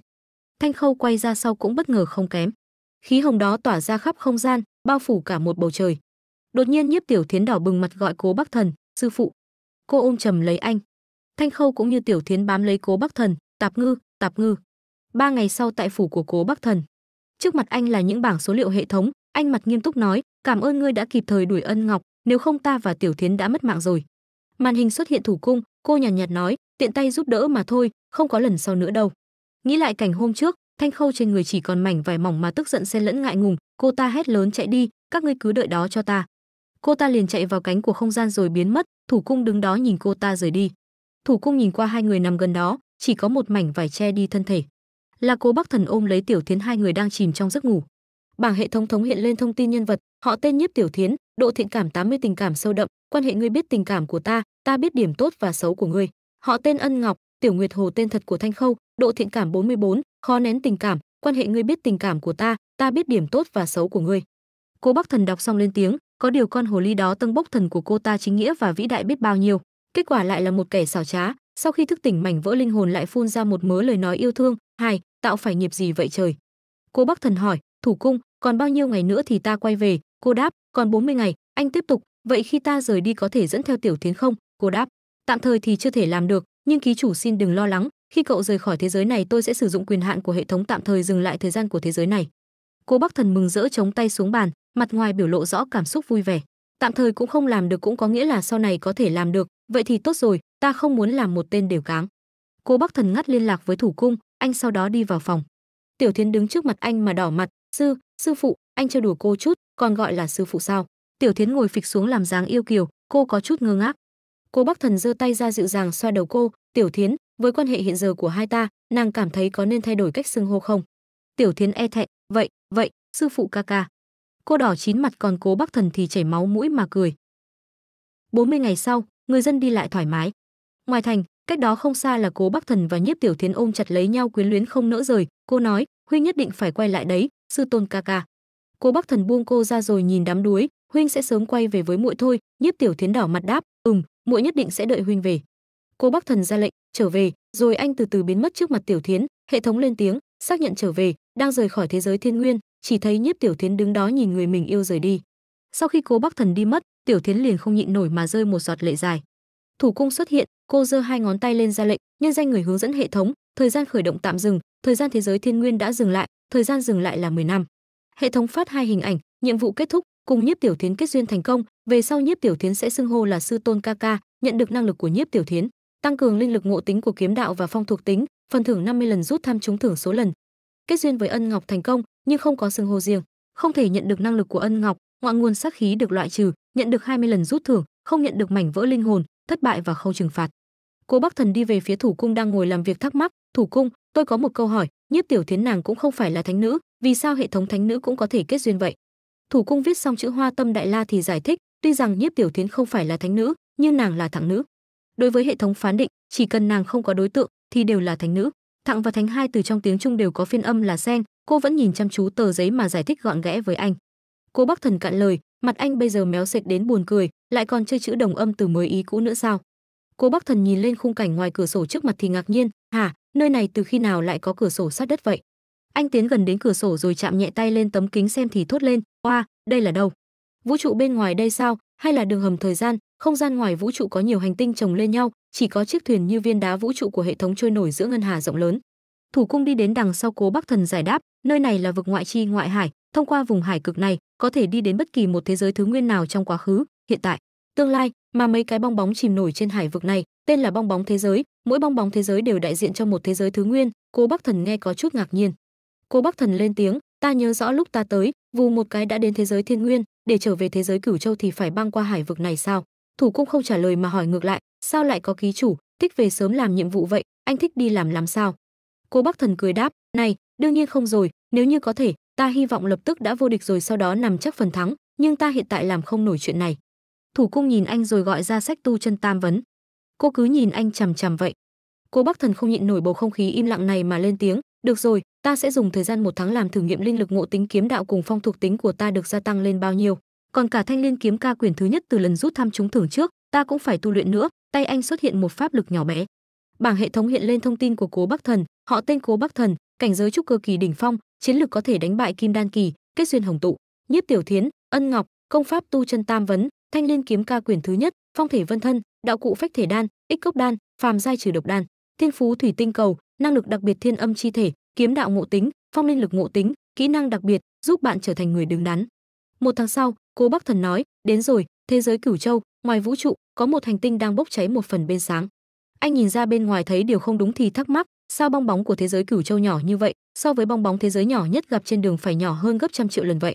Thủ cung liếc qua phía cố bắc thần giải thích, bởi vì thế giới cửu châu nơi ký chủ ở trước đây là một thế giới nhỏ nhân tạo được tạo ra bởi hồng tụ. Vị thánh của cưu u môn sử dụng bảo vật bẩm sinh, hồng tụ trong thế giới kia, kỳ thật là một phân thân của nàng. Chân thế giới cửu châu còn gọi là cửu châu đại lục, tổng cộng có 9 lục địa chí tạo thành bát quái trận, các lục địa không tương liền với nhau, bản đồ của cửu châu hiện lên. Chín khối lục địa lần lượt là ký châu, sung châu, thanh câu, từ châu, dương châu, kinh châu, dự châu, lương châu, ung châu, diện tích mỗi khối lục địa đều đạt tới hàng trăm tỷ km vuông. Mà hệ thống tu tiên của chân thế giới cửu châu cùng hệ thống ký chủ nhận được từ hồng tụ giống nhau như đúc, cảnh giới là rèn luyện thân thể, luyện khí kỳ thu nạp linh khí. Có được linh thức, trúc cơ kỳ có thể ngự kiếm phi hành, đan điền hóa kim đan kim đan kỳ có thể động quang phi hành phá đan thành anh có thể nhanh chóng trong thời gian ngắn ngủi phi thăng nguyên anh kỳ. Nguyên anh hóa thần hóa thần có được thần thức cùng ngàn vạn phân thân phân thân cùng bản thể hợp lại làm một, trở lại trạng thái thống nhất ban đầu, sau đó đi lên nữa chính là cảnh giới độ kiếp thành tiên. Nếu ký chủ muốn đi tới chân thế giới cửu châu, phải triệt để bắt được hết phân thân của hồng tụ, cô đứng trước vòng tròn pháp lực, phía đối diện là cố bắc thần. Hệ thống không thể trực tiếp mang ta đến chân cửu châu thế giới sao? Anh hỏi, thủ cung đáp, có thể, nhưng cái giá phải trả là ký chủ trước mắt không thể gánh vác. Cô bắc thần đồng ý, hiểu rồi vậy hiện tại để tôi quay về thế giới cửu châu giả đi, anh tiến đến ngay chính giữa vòng tròn, hệ thống lên tiếng, tiến hành dịch chuyển, rồi đếm ngược 19 tám. Cô bắc thần hào hứng xoay tay, hồng tụ yêu nữ, lão gia lại trở về tìm ngươi tăng tiến cảm tình rồi. Có một ánh sáng bất ngờ vụt qua giữa vũ trụ tiến gần đến tàu vũ trụ của hệ thống. Là một cô gái trong ánh sáng nhỏ bé đó phi nhanh đến. Cô cứ thế nhắm thẳng vào tàu vũ trụ, đâm thẳng vào làm rung chấn tàu một chút nhưng cũng không gây hấn gì với chiếc tàu. Tại thế giới thần y, hai ánh sáng như sao băng giữa trời sáng lao vụt xuống cô bắc thần lao thẳng xuống một nơi, gần đó có một cô gái đi đến chứng kiến cảnh vừa rồi, cô có chút bất ngờ. Cô gái kinh ngạc nhìn rồi như phát hiện ra người quen. Cô đi đến nắm lấy tay cố bắc thần vui mừng khôn xiết. Tại một chỗ khác cũng có ánh sáng lao thẳng xuống một căn nhà rơm nghèo nàn. Trong nhà, người trên giường tỉnh dậy. Anh ta nhìn tay mình rồi kinh ngạc phát hiện, mình xuyên không sao. Thủ cung giới thiệu thế giới cho cố bắc thần, thế giới thần y không tu võ đạo. Người của thế giới này có chiến y riêng biệt, bọn họ dẫn tinh quang chi lực của bắc đầu thất tinh để rèn luyện sức mạnh tinh thần sau đó dùng đạo cụ đặc thù, tinh thạch để chứa đựng thể hóa sức mạnh tinh thần của ý chí một người biến thành chiến y mạnh mẽ, chiến y được chia thành bố y, đồng y, ngân y, kim y và cao nhất là thần y trong truyền thuyết. Lúc này cả thủ cung và cố bắc thần đều ngồi tản mạn trên mái nhà dưới bầu trời đêm đầy sao. Cố bắc thần xoay qua nhìn thủ cung rồi thắc mắc, sau đó ta bị thiên đạo của thế giới thần y cưỡng ép ở lại thế giới thần y là bởi vì cần ta làm chúa cứu thế? Thủ cung đáp, chính xác mà nói thì chúng ta. Và lý do rất đơn giản, thế giới thần y có một người xuyên việt thiên đạo của thế giới thần y vốn dĩ tưởng rằng có thể mượn sức mạnh của người xuyên việt và hệ thống để thăng cấp bản thân. Không ngờ người xuyên việt và hệ thống lại lật tay hiến tế của thế giới để lấy được sức mạnh mạnh mẽ hơn, cô nói tiếp. Cho nên thiên đạo của thế giới thần y gần như đã tiêu hao hết sức mạnh nghịch chuyển thời không của thiên đạo. Còn kéo chúng ta đến đây giúp đuốc đương nhiên việc giúp đỡ này không phải là miễn phí, cô bắc thần không hiểu, thù lao rất phong phú. Thủ cung đáp, đủ để ngươi trở về đại lực cửu châu nhân tạo, không bị yếu thế khi đối mặt với phân thân của hồng tụ. Cô bắc thần nghe đúng như ý mình muốn thì nắm chặt tay mỉm cười nhẹ nói, được vậy thì ta sẽ miễn cưỡng làm chúa cứu thế một lần. Thủ cung cười nhẹ hài lòng, cô búng tay lấy ra một quyển sách. Cô đưa nó cho cố bắc thần, anh nhìn vật về tay thì thắc mắc, đây là cái gì? Cô trả lời, kịch bản kịch bản về mọi thứ người xuyên việt từng làm ở thế giới thần y. Cố bắc thần dở sách ra xem, nếu đã có kịch bản thì chuyện đó đơn giản hơn nhiều, bây giờ ta sẽ xác định địa điểm người xuyên việt xuất hiện, sau đó chặn cửa luôn. Nhưng thủ cung phẩy phẩy ngón tay ngăn cản lại, không làm được đâu. Cố bắc thần ỉu xìu chán nản, vì sao không làm được? Muối nói hắn có hào quang của nhân vật chính đấy chứ? Cần phải đánh đổ hào quang nhân vật chính của hắn thì mới có thể giết được đúng không? Thủ cung đáp, đương nhiên không phải, nguyên nhân là. Cô chưa nói hết câu thì cô gái tóc trắng đã vội phi thẳng vào sân kêu lớn, thần sứ đại nhân, cứu mạng với. Cô vội vàng báo cáo tình hình, đại ma đầu hàn tông đánh đến đây rồi, khiến cô bắc thần bất ngờ. Cô bắc thần quay sang chất vấn thủ cung, mẹ kiếp, mà thủ cung, ngươi mau giải thích rõ ràng cho ta, ở đây là thần y cung. Vừa nãy ta đã đọc lướt qua mục lục của kịch bản rồi, nơi này phải là đoạn cuối của tình tiết mới xuất hiện quyển kịch bản trên tay cố bắc thần lúc này đang lật đến trang chương 600, thần y cung xuất hiện. Thủ cung nhàn nhạt, nhạt đáp ta cũng không nói là lúc thiên đạo của thần y cung kéo chúng ta đến đây là chương một của kịch bản trên tay cô lấy ra là ba thẻ bài có phần na ná nhau. Cô đưa ba tấm thẻ cho cố bắc thần rồi nhắc nhở đúng rồi ký chủ đây là hách mà thiên đạo thế giới thần y cho ngươi ba lần vô địch cất kỹ đấy. Cố bắc thần bất ngờ cầm lấy nói đợi đã ngươi vẫn chưa nói rõ ràng. Anh chưa kịp hỏi được thủ cung thì đã thấy cô nhanh chóng quay lại về không gian hệ thống chủ để lại anh cạn lời ngồi đó anh cười trừ nói, ta chỉ muốn hỏi là cái thứ này dùng kiểu gì? Màn hình hệ thống nghe được lời nói của anh mà phát sáng lên trước mắt. Thủ cung xuất hiện trước màn hình khoanh tay nói, ba tấm thẻ này lần lượt đại diện cho nho, thích, đạo, thời gian duy trì mỗi tấm là 30 phút. Đeo thắt lưng lên, sau đó cầm tấm thể vào khe cắm rồi hét lớn chiến y hợp thể là được, trước mặt cố bắc thần là thắt lưng bạc. Cố bắc thần trên gương mặt nở rõ nụ cười tươi, anh kích động hỏi lại cho chắc, thủ cung đây có phải là thứ mà ta đang tưởng tượng không? Thủ cung đáp, đúng vậy, ký chủ, chính là điều mà ngươi đang nghĩ tiếp theo, ký chủ ngươi muốn hành động thế nào? Cô bắc thần cầm lấy rồi đeo thắt lưng vào. Anh giơ lên tấm thẻ tấm thẻ phát sáng lạ kỳ, thế giới này cần một anh hùng. Anh sau đó mạnh dạn đút thẻ vào một cái cạch. Cô bắc thần hô lớn một tiếng, chiến y hợp thể, hai mắt anh liền sáng lên rồi bắt đầu biến đổi. Ở một bên khác, có người đang đánh bại những tên thủ hạ canh giữ thần y cung, khiến mấy tên đó liền bị đánh bay ra xa nằm sóng xoài dưới đất. Tên đó không chút do dự leo lên mái nhà, thấy tình hình bất thường, có người đi ra xem xét tình hình tên áo choàng trắng vừa rồi nhìn thấy được người đi ra thì nở nụ cười nham hiểm. Thời gian lùi về trước một chút có một toán người đi ra đứng đầu là một người cao tuổi xiêm y đỏ rực. Ông ta nhân mày lên tiếng chất vấn người phía trước mặt tống hàn ngươi có biết ngươi đang làm gì không? Ngươi là nhân tộc. Vậy mà ngươi lại cấu kết với yêu tộc sát hại nhân tộc người mặc xiêm y đỏ đó chính là cung chủ thần y cung cố hoàng. Tống hàn cười nhẹ một cái đầy khinh bỉ ha yêu tộc nhân tộc chấp 19, tống hàn nhớ lại đoạn ký ức kiếp trước của mình ta là một người xuyên không. Trước và sau khi xuyên không đều tên là hàn tông trước khi xuyên không, ta là một nhân viên văn phòng, bởi vì cắm sừng cấp trên. Cấp trên đâm một dao chết, người đàn ông đó không chút do dự cầm con dao sắc bén lên ngay trước mặt hàn tông. Người đàn ông sau đó đâm một nhát xuống người hàn tông kiếp trước khiến máu anh ta chảy lên lắng, anh ta đã không trụ được chết ngay tức khắc. Sau khi xuyên không, ta là người gác thôn ngốc nghếch của thôn làng dưới quê, nhưng ta có một hệ thống, không sai. Chính là hệ thống thường thấy trong tiểu thuyết, khung cảnh thay đổi đến lúc hàn tông tỉnh dậy phát hiện ra màn hình hệ thống xuất hiện ngay trước mắt. Đây là một hệ thống yêu nhân, khiến ta có thể có hai cơ thể một cơ thể là nhân tộc của thế giới thần y, còn một cơ thể lại chính là yêu tộc. Tử địch của nhân tộc, mà chức năng mạnh nhất của hệ thống là xây dựng thiên đọa viên lạc trận, sau đó hiến thể thế giới thần y để ta thoát khỏi đại đạo. Bắt đầu từ giờ phút này, ta đã hạ quyết tâm, ta muốn dùng cơ thể của nhân tộc và cơ thể của yêu tộc để lật tung cả thế giới thần y này lên. Ta phải hoàn thành thiên đạo viên lạc trận, ta phải thoát khỏi. Hiện tại lúc này hàn tông phát ra một quả cầu lửa trên bàn tay. Cố hoàng, không lẽ hôm nay ngươi ra cửa, đầu bị đập ngu rồi đấy chứ? Nhân tộc hàn tông đã bị các ngươi giết chết 3 năm trước rồi hàn tông cả cơ thể dần bùng lên ngọn lửa trước mặt cố hoàng. Dần dần ngọn lửa ấy bao bọc cả người hàn tông vào, mắt hắn rực lửa trong hắn đầy vẻ tự tin mà nói, bây giờ người đứng trước mặt các ngươi chỉ có yêu tộc hàn tông. Hắn hô lớn, cửu vĩ hồ chiến y, nhập thể, hắn gọi ra yêu lực hỏa, lửa hiện lên phừng phừng, giờ hắn đã có trên mình chiến y của yêu tộc. Cố hoàng trong số đám người kia liền mặt biến sắc, hừ, muốn đánh nhau, thần y cung chưa bao giờ sợ hãi, tất cả đệ tử của thần y cung nghe lệnh. Tất cả cởi bỏ áo choàng ra, cố hoàng lên tiếng ra lệnh, chiến y nhập thể la hán chiến y nhập thể, mấy người phía sau cũng hô lớn, rồi đồng loạt khoác lên mình bộ chiến y vàng cùng chiến đấu bảo vệ thần y cung. Bồ tát chiến y nhập thể, cố hoàng cũng thay cho mình bộ chiến y còn cấp cao hơn cả, trên người tỏa ra ánh sáng rực rỡ. Hai chiến y của hàn tông và cố hoàng đều phát ra ánh sáng đối nghịch nhau, vì vậy mà tia lửa lóe lên giữa hai bên sáng lên do sự va đập mạnh ấy.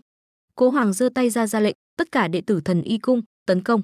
Các đệ tử gọi ra bong bóng tím bắn về phía tống hàn rồi nổ nhưng hàn tông có vẻ lại chẳng hề hấn gì, hắn cứ đứng đấy xem vụ nổ như một thứ bong bóng nước bay quanh mình. Khi không thể nhìn nữa, hắn sử dụng cửu vĩ phòng ngự, mấy ngọn lửa tạo thành mấy giải băng hất mạnh, mấy bong bóng phát nổ ra bảo vệ cơ thể hàn tông. Tiếp theo đến lượt ta rồi, hàn tông nói xong đập bột vào ngực mình. Cửu vĩ hồ huyền ảnh, hắn nhảy lên cao rồi lao xuống. Một đệ tử là mục tiêu của hàn tông, hắn lao xuống khiến đệ tử đó cảnh giác không kịp. Xuất hiện trước mắt đệ tử là ngọn lửa biến thành nắm đấm lao về phía mặt mình, đệ tử kinh hãi hét lên không, nhưng chưa kịp phản ứng tự vệ gì thì liền bị hắn đấm bay. Hàn tông sử dụng chiêu thức khác phẫn hồ phá, ngọn lửa lại biến thành một con hồ ly càn quét cả đội ngũ đệ tử khiến họ bị đánh bay ra xa. Những người còn lại chứng kiến cảnh tượng vừa rồi đều kinh ngạc không thốt nên lời. Tống hàn nhìn đám người khinh thường ừ mới vậy mà đã khiến các ngươi bất ngờ thế sao? Hắn xoay chân, dưới chân liền phát ra khói nghi ngút. Tay hắn hiện lên ngọn lửa, hắn dùng liệt hồ tuyền phong, trước mắt hắn là lửa lớn ngọn lửa đỏ rực tức thì biến thành lốc xoáy thu phục những đệ tử khác, bọn họ sợ hãi mà hét lớn không thể làm gì được.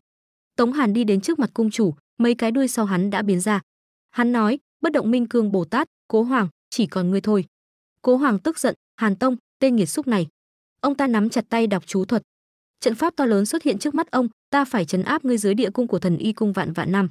Hàn tông nhân mày nhe răng ra cười, hắn như nghe phải điều vô lý rồi nói chấn áp ta, đúng là trò cười động trời vừa nãy ta dùng hai tuyệt chiêu liên tiếp đã khiến đệ tử của thần y cung các ngươi đánh bay hết, ngươi lại chỉ có thể chậm gì gì dùng tuyệt chiêu phòng thủ. Bất động minh vương, ngươi theo kịp tốc độ của ta không? Thân thể nhanh nhẹn của hắn bắt đầu di chuyển. Hàn tông trong một khắc đã biến mất khỏi vị trí ban đầu mà di chuyển nhanh đến đằng sau cố hoàng định đấm ông ta một cái, ngươi làm được không? Hàn tông sử dụng nắm đấm lửa, đi chết đi. Cố hoàng nhanh chóng tạo ra lá chắn chặn lại được, bảo sơn ấn, ngự phật giáp. Ông ta đắc ý liếc nhìn hàn tông nói, hàn tông tuy ta không theo kịp được tốc độ của ngươi nhưng bất đông minh vương cũng không phải là thứ mà người ta có thể đánh vỡ dễ dàng được. Hàn tông lùi lại về sau hừ một tiếng. Hắn không nản chí mà càng hưng hực ngọn lửa trong mình rồi nói, nếu đã như vậy thì ta sẽ đánh vỡ mai rùa của ngươi, rồi bắt ngươi ra ngoài. Hồ hỏa liêu nguyên, ngọn lửa quanh người hắn lại bùng lên mạnh mẽ. Đám lửa to lớn đó liền lao về phía cố hoàng như muốn ăn tươi nuốt sống ông ta. Ông ta ở trong trận pháp bảo vệ tỏ ra khinh bỉ, hàn tông, hỏa diễm của ngươi chỉ được đến trình độ này thôi sao? Hàn tông nhân mày bắt đầu không kiềm lại được lửa giận mà nói, được được được, là ta đã xem thường ngươi rồi, bất động minh vương. Nếu mà như vậy thì ngươi thử đỡ chiêu này đi. Nói rồi hắn liền tỏa ra quả cầu lửa khổng lồ. Sĩ hồ thiên giáng, quả cầu lửa hiện lên mặt con hồ ly tức giận lao về phía cố hoàng. Ông ta thấy vậy không khỏi toát mồ hôi mà lo sợ, lửa giận của trời. Một chiêu đó đã làm trời rung đất chuyển. Hàn tông kiêu ngạo nói lớn, cố hoàng, thần y cung, tất cả đều hủy diệt hết đi. Một lần nữa ngọn lửa thiêng làm đất đá rung chuyển, một vụ nổ lớn phát ra mọi vật cung quanh gần đó cũng không thoát khỏi bị ảnh hưởng nặng. Hàn tông ở trên không trung nhìn xuống lớp bụi dày đặc, giải quyết xong rồi. Nhưng không ngờ đến, đất đá ở dưới bắt đầu rung lắc dữ dội như động đất. Ở giữa đó cố hoàng vẫn trụ vững phá tan lớp đất đè lên mình vùng dậy đứng lên rồi lên tiếng, hỏa diễm luân chỉ ấn thay không phật chi trí diệt trung sinh chi viêm. Hàn tông nhìn một cảnh như vậy liền không khỏi kinh ngạc, đến ngọn lửa của thiên hồ cũng không thể khiến hắn bị thương. Những vòng trong phật pháp liền xuất hiện sau lưng ông, xem ra ngươi đã sức cùng lực kiệt rồi, vậy thì đến lượt ta, độc toàn ấn giáng phục tứ ma từ trong những vòng tròn phía sau cố hoàng lao ra là những thanh kiếm lao vụt ra tấn công, tam muội giai đoạn ác kiếm. Hàn tông không chút do dự và sợ hãi nào lao đến, cửu vĩ hồ huyễn tượng. Hắn liền tránh né được những thanh đao sắc bén ấy, ảo ảnh của hắn cũng hiện ra. Cố hoàng thấy không hạ gục được hàn tông thì tiếp tục sử dụng chiêu thức khác, dùng vô số huyền ảnh đến tránh đòn tấn công sao. Vậy thì để ta phá huyễn cảnh của ngươi vậy, lưỡng bộ cấp bất nhị chi trí nhân ở ánh sáng từ chắn ông ta chiếu thẳng đến một hình ảnh của hàn tông rồi nói, tìm thấy ngươi rồi hàn tông có chút lo lắng, đáng chết, bị phát hiện rồi. Cố hoàng chỉ hai ngón vào người hắn ra lệnh cho mấy thành kiếm lao đi đi. Những thanh đao liền quay ngược trở lại sau lưng hàn tông làm hắn ta bất ngờ không chút phòng bị gì. Một vụ nổ vang lên, hàn tông bị trúng đòn tấn công của cố hoàng mà từ trên không trung rơi xuống trước mặt cố hoàng. Hàn tông lao xuống đất ầm một cái rồi không còn chút động tĩnh gì mà nằm nguyên tại chỗ như thế, cố hoàng định đi đến xem xét tình hình. Cố hoàng đứng cách hàn tông đang nằm không xa, giữa khói bụi mờ mịt nhìn thấy hàn tông không còn nhúc nhích gì nữa, ông ta nói đánh bại hàn tông rồi. Ông ta có chút nhăn mày nhìn hàn tông, trên mặt lấm tấm mấy giọt mồ hôi, không ngờ hai bộ cấp nhất nhị chi trí nhân đã thất bại, xem ra cũng là huyền ảnh. Thứ chất nhãn nhìn thấy cũng là huyền ảnh, bụi mờ dần tan đi, nhưng hàn tông nhìn kỹ thì có vẻ không đúng. Đột nhiên người của hàn tông thổi phừng lên ngọn lửa. Hắn liền tức khắc bật dậy ngay phía sau lưng cố hoàng cố hoàng liếc mắt nhìn qua hắn không khỏi lo sợ, ta đã bị hắn lừa rồi. Hàn tông lấy lại sức lực, tay hắn xuất hiện linh lực lửa đỏ rực định đấm vào cố hoàng, hắn hô lớn, sau chiêu tấn công này, có thể hoàn thành nghi thức của hỏa thấy vậy cố hoàng không khỏi kinh ngạc, ngọc sơn ấn ự nhưng không kịp nữa, hàn tông đã chém một phát xuống người cố hoàng một nhát. Cả cánh tay của ông ta liền bị chém rời khỏi thân thể khiến ông ta kinh ngạc trơ mắt nhìn. Hàn tông tỏa ra sắc khí, trốn nhanh thật đấy, đáng tiếc là không moi tim của ngươi ra, trên cánh tay của cố hoàng vừa bị chém thì xuất hiện lửa đỏ bao bọc lấy cùng với những ký tự khó hiểu. Cánh tay của cố hoàng bay lại về phía ông ta. Cố hoàng lo lắng chất vấn hàn tông hàn tông, vì sao ngươi lại có loại văn tự đó? Ông nhớ lại hồi ức cũ, trong chủ điện thần thối cung có người phụ nữ ngồi trên ghế đang gục xuống. Trên người cô ta là một vết thủng do bị moi ruột, trên bắp chân xuất hiện ký tự lạ như bị dao khoét. Ở quảng trường thần tý cung, có người nằm xuống đất, mọc lên trước ngực là một loại cây kỳ lạ. Cây trước ngực xuất hiện là do suy gan. Trên bắp tay người đàn ông đó có xuất hiện ký tự lạ. Tại thần thế cung, có người đang ngồi tĩnh tâm. Cả người hắn đều ướt nhẹp do chết đuối, trên ngực hắn cũng xuất hiện ký tự lạ. Cố hoàng càng nói càng tức giận, cung chủ thể cung cung chủ thần tý cung, còn có cung chủ thần thối cung trên thi thể của bọn họ có văn tự giống hết hệt như này. Là ngươi đã giết bọn họ, sao ngươi lại dám làm vậy? Tên xúc sinh nhà ngươi, hàn tông chỉ cười lạnh một cái. A. Cố hoàng nói đến tình nghĩa của những người bị hại đối với hàn tông, khi ngươi thảm hại nhất. Không được ức hiếp người yếu hơn, là cung chủ thần thối cung đã cứu ngươi, người phụ nữ đó liền cứu hàn tông một mạng.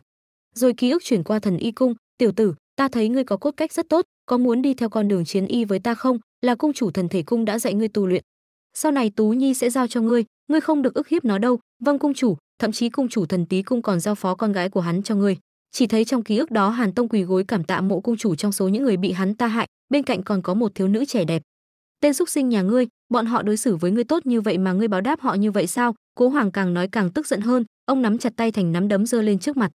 Hàn tông tự hào cười, ngươi sai rồi, đây là phúc báo của bọn họ, đối với bọn họ mà nói, chết không phải là điểm cuối bọn họ đều đang sống trong cơ thể ta, sau đó bọn ta sẽ cùng trở thành sự tồn tại siêu việt nhất. Hắn ta bay lên không trung, bây giờ bọn họ đang đợi ngươi đoàn tụ, trên tay hắn là ngọn lửa nóng đỏ. Trên cánh tay xuất hiện những văn tự quỷ dị, hắn nói, thái âm luyện hình, thị giải hỏa. Hàn tông lao thẳng xuống gọi tên cố hoàng.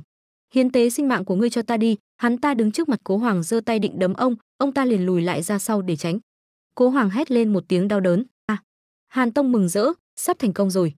Nhưng đột nhiên hắn nhận ra có gì đó bất thường hàn tông và cố hoàng đều nhảy vụt ra rồi tránh đòn tấn công của thanh kiếm đang cắm mạnh xuống đất. Hàn tông lùi lại ra sau vài bước. Hắn ngước lên nhìn tức giận, kẻ nào dám làm hỏng chuyện của ta? Cố hoàng nhìn bóng đen gần đó, nhận ra gì đó, ông liền nói, ngươi là? Trong màn khói mờ ảo, thân ảnh của cố bắc thần dần hiện ra rõ mồn một. Hàn tông thấy được cố bắc thần thì liền tỏ ra nghi ngờ nhưng vẫn không quên chuẩn bị chiến đấu. Trên tay hắn từ bao diuf đã xuất hiện quả cầu lửa, nhân sĩ lai lịch bất minh kia từ đâu chui ra? Ta đã âm thầm điều tra rồi trong thần y cung không có kẻ nào dùng kiếm, chẳng lẽ hắn là nhân vật giống như sư thầy quét rác? Hắn sử dụng phẫn hồ phá, lên tiếng hỏi, người rốt cuộc là ai? Ngọn lửa hóa hồ ly lao về phía trước phía cố bắc thần. Chỉ thấy trong đám khói cố bắc thần vẫn đứng im tại chỗ. Anh giơ ngón tay quẹt lên không trung vài đường viết lên một con chữ lớn. Một chữ chảm liền tức khắc được viết ra. Thanh kiếm sau người anh như có linh hồn mà chĩa thẳng mũi kiếm về phía con hỏa hồ ly. Thanh kiếm chém mạnh một đường qua mặt nó. Con quái đó liền nổ tung trước mặt cố bắc thần. Cốc bắc thần trong màn khói mù mịt nói nếu ngươi đã thành tâm muốn biết, vậy thì ta sẽ đại phát tự bi nói cho ngươi biết, anh thuận thế hất tay thổi bay bụi mờ trước mặt đi. Anh chỉ tay lên trời nói một cách dõng dạc đầy tự tin, ta là cố bắc thần, nam nhân thay trời hành đạo, cứu vớt thế giới này. Hàn tông nghe muốn nực cười, hắn càng thấy tức giận hơn, bỏ đi, không cần quan tâm hắn có phải là tăng quét rác hay không. Ta của bây giờ là bất khả chiến bại, ha, cứu vớt thế giới, ngươi không biết tự lượng sức. Bất ngờ có một cô gái từ đâu đi tới gọi, phụ thân cuối cùng cũng đến kịp, cô chạy đến gần cố hoàng xem xét tình hình khiến ông phải nhìn đến. Cô nhìn thấy cha mình thì thở phào thầm trong lòng, thật tốt quá, phụ thân vẫn chưa chết. Cố hoàng thấy con gái thì lo lắng không thôi, con đến đây làm gì? Bây giờ lập tức cút về sơn trang của con đi, ở đây không phải là nơi con nên đến. Cô gái không chịu thì cãi lại ngay, con không về, con phải ở cùng người, hơn nữa sẽ không gặp nguy hiểm đâu, bởi vì có thần sứ đại nhân ở đây. Cố hoàng không hiểu cô đang nói đến ai, thần sứ đại nhân, cô gái chỉ vào cố bắc thần, hắn chính là thần sứ đại nhân tối qua con đã cầu nguyện với thần minh, cầu nguyện có người ngăn cản hàn tông, sau đó thần sứ đại nhân đã hóa thành sao băng để bay xuống, cô kể lại chuyện vừa qua. Cố hoàng thắc mắc, ngăn cản hàn tông, lời này của con là có ý gì? Chẳng lẽ con đã sớm biết được bộ mặt thật của hàn tông? Cô gái giải thích, đúng vậy, bởi vì khoảng thời gian trước, trong đầu con đột nhiên xuất hiện rất nhiều ký ức liên quan đến tương lai. Con âm thầm quan sát những chuyện đã xảy ra gần đây, cuối cùng cũng xác thực được tính chân thật của ký ức. Cũng là ký ức đã khiến con phát hiện ra dã tâm của hàn tông, cô càng kể càng thể hiện ra bộ mặt nghiêm túc muốn tra tin mình hắn không chỉ giết chết phụ thân của các người mà hắn còn muốn lấy cả mạng trời đất này làm tế phẩm để hiến tế. Cô nhìn sang cha mong ông có thể tin tưởng cô hoàn toàn. Cố hoàng nghe xong thì nhăn mặt há miệng kinh ngạc như không thể tin nổi con nói cái gì. Cô gái đáp, phụ thân, chuyện là như vậy. Hàn tông phía bên kia thì đi từ từ về phía cố bắc thần. Cố bắc thần thần vậy thì cất lời, ha, đi về phía của ta sao? Không cúp đuôi chạy đi mà lại gần ta sao? Hàn tông vẫn tự tin mà nói, nếu không đến gần thì làm sao để đánh nát mặt ngươi chứ? Sao có thể cho ngươi biết? Ngươi chỉ là một viên đá kê chân trong đại thoại liên tập này. Hắn hét lớn phẫn hồ phá cửu thức trên tay hắn lại phát ra ngọn lửa. Ánh lửa lần nữa hóa hình thú trào ra cùng mấy bọc lửa khác lao đến thẳng chỗ cố bắc thần. Cố bắc thần nhìn đám lửa bập bùng lao đến bất ngờ anh chả có chút sợ hãi nào mà ngược lại nhàn nhạt, nhạt nói ngọn lửa nhỏ bé cũng dám múa dìu qua mắt thợ. Một sợi không thành dây một cây không thành rừng dưới chân cố bắc thần xuất hiện ánh xanh vài cây xanh non từ từ trồi lên khỏi lớp đất đá cứng cáp. Từng dây xanh trồi lên đâm thủng mặt đất. Chúng ngăn chặn đám lửa một cách nhanh chóng đến nỗi có một mỏm đất bị hất tung lên tạo thành một cái cây xanh khổng lồ. Hàn tông nhìn cây xanh lớn trước mặt không khỏi cứng đờ người ra vài giây. Hàn tông lúc này không còn tự tin như trước nữa, có chút bản lĩnh, đây là năng lực giống như ngô xuất pháp tùy sao. Cô bắc thần búng tay một cái cái cây liền thu nhỏ lại. Hàn tông, thực lực của ngươi chỉ có vậy thôi sao? Sức mạnh của ngươi nhận được thông qua nghi thức của thiên đọa viên lạc trận sao không dùng, cây xanh bên cạnh cố bắc thần liền biến mất. Hàn tông lúc này cảm thấy hoảng sợ rồi, rốt cuộc ngươi là ai? Hắn càng cảnh giác với cố bắc thần hơn, sao ngươi biết về chuyện của nghi thức và trận pháp? Cố bắc thần như nắm rõ hàn tông trong lòng bàn tay, anh nhìn xuống hàn tông như một con kiến bé nhỏ mà nói, ngươi đoán xem. Trận đấu giờ đang hỗn loạn, đất đá xung quanh cố bắc thần và hà tông đều ngổn ngang. Cố bắc thần lên tiếng trước, cho ngươi một nhắc nhở, chẵn đổi lẻ không đổi. Hàn tông kích động liền, ngươi, tên tiểu tử nhà ngươi, cũng là người xuyên việt đến từ lam tinh. Cố bắc thần không bất ngờ gì, ngươi đoán tiếp đi, sao ta lại biết được tuyệt chiêu của ngươi? Hàn tông đoán nhưng có vẻ hắn đã tin hoàn toàn phán đoán của minh là hệ thống, ngươi cũng có một hệ thống, đúng không? Cô bắc thần đáp, cảm giác trong tay có kịch bản, đùa giỡn người khác nhiều thấu tất cả đúng thật là tuyệt vời. Anh nghĩ đến mấy lá bài vẫn còn trong tay mình nghĩ thầm, hơn nữa còn có sức mạnh vô địch, ta cũng không biết phải thua thế nào, ha ha ha. Nếu như ở thế giới cửu châu cũng có thể có một cuốn kịch bản như này và ta vẫn còn có thể có được sức mạnh vô địch hiện tại, vậy thì chắc chắn có thể lật người làm chủ đương giá, để hồng tụ kia biết mặt, anh một tay để lên đầu bất lực cô bắc thần ngoắc tay khiêu khích, hàn tông, ở trước sức mạnh vô địch của ta, tất cả kế hoạch định của ngươi đều chỉ là công cốc. Hàn tông thấy thế thì càng bị anh làm cho kích động hơn, hắn vào thế chuẩn bị cố bắc thần, ta cũng là người xuyên việt, ta cũng có hệ thống, ai cũng không thua kém ai, ngươi không ngăn cản được ta đâu. Hơn nữa ta cũng đã hoàn thành ba nghi thức của thiên đại viễn lạc trận rồi, cho dù là ở trong tình huống bất lợi nhất tại ta cũng có thể đánh ngang tay, tầng tầng những dây cây xanh mọc lên lần nữa. Hồ ảnh vẫn luyện ngục, ánh sáng lửa xanh dương hóa thú xuất hiện. Nó lao đến tấn công cố bắc thần anh bình thản giơ hai tay ra coi như chỉ là chuyện còn con nói, cũng như cái được gọi binh đến tướng chặn, lửa đến thì dùng lửa chắn. Quân bất kiến, hoàng hà chi thủy thiên thượng lai, con mắt đen xuất hiện. Một tiếng thác đổ phát ra, dòng nước như sóng giữ ồ ạt trào ra ngoài. Từ trong con mắt đen đằng sau cố thần là thác nước nhỏ liền dễ dàng dập tắt ngay ngọn lửa xanh vừa rồi của hàn tông. Cô con gái của cố hoàng nhìn cảnh trước mắt mà lo lắng, tiêu rồi, khói bụi mù mịt cản trở tầm nhìn, mà cảm quân của yêu tộc trời sinh đã mạnh hơn nhân tộc rồi.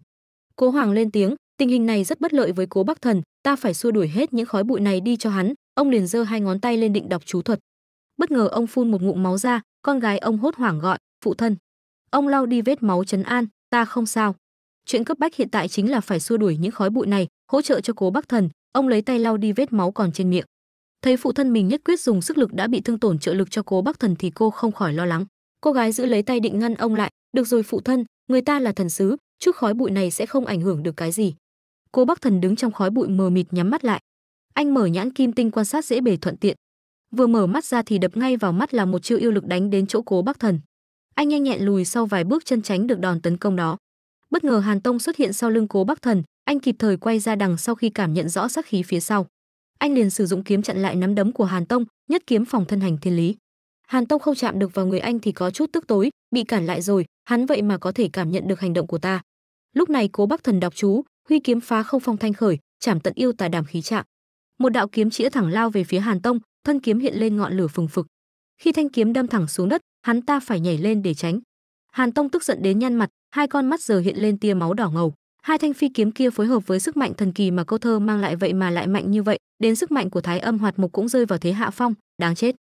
Cô bắc thần lên tiếng, ngươi tưởng là ngươi có thể tránh được sao? Thủ trong điện duệ ỷ thiên kiếm, trực chảm trường kinh hải thủy khai sức mạnh như long thủy lao tới chặn lại yêu lực của hàn tông.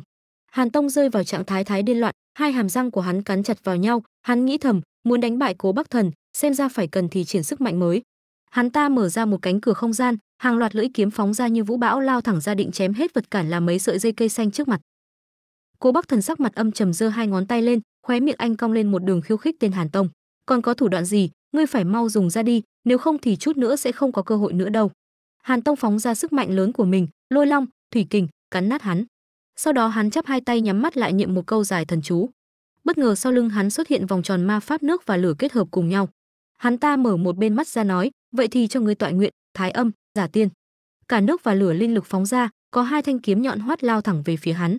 Cô bắc thần thấy được chiêu thức của hàn tông thì xoa cằm có chút bất ngờ, giả tiên sao?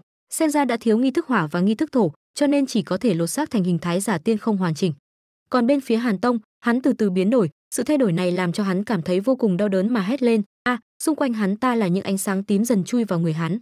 Trên mặt hàn tông mọc ra một cái sừng như quỷ dữ, hai mắt hắn sáng lên, hắn phải cắn răng chịu đựng cơn đau thấu xương do sự biến đổi này. Sau đó hàn tông thành công phá bỏ lớp vỏ đất đá bên ngoài, hắn giờ đã thành giả tiên như mong muốn. Bên phía cố hoàng lấy tay che đi khói bụi bay đến, ông ta cảm nhận được uy lực mạnh mẽ từ hàn tông mà thốt lên, uy áp đáng sợ quá. Cố hoàng nhìn mà nhăn cả mặt, ông không khỏi kinh hãi trước uy áp khủng khiếp đó trước đó hắn đánh với ta chẳng qua chỉ là chơi đùa mà thôi. Con gái ông bên cạnh cũng không ngờ đến mà trố mắt kinh ngạc dù đã biết trước tương lai, không giống rồi, trong ký ức tương lai, hàn tông chưa từng xuất hiện dáng vẻ này. Trước mặt cố bắc thần, hàn tông đã thành công biến đổi cơ thể, hắn hét lên một tiếng giải phóng năng lượng. À. cố bắc thần vẫn đứng đó mà cười nhẹ, đến rồi. Hàn tông nắm cổ tay xoay vài cái rồi cất lời, để ngươi đợi lâu rồi, chiến y thái âm, giả tiên hoàn tất. Cố hoàng lo lắng không thôi, ông quay sang nhìn cố bắc thần xem xét tình hình đây mới là thực lực chân chính mà hàn tông che giấu, mạnh quá, thật sự có người có thể thắng được hắn sao? Nhưng con gái ông bên cạnh dường như rất đỗi tin tưởng vào cố bắc thần rồi trấn an ông, phụ thân, đừng lo lắng, sứ thần đại nhân nhất định sẽ thắng.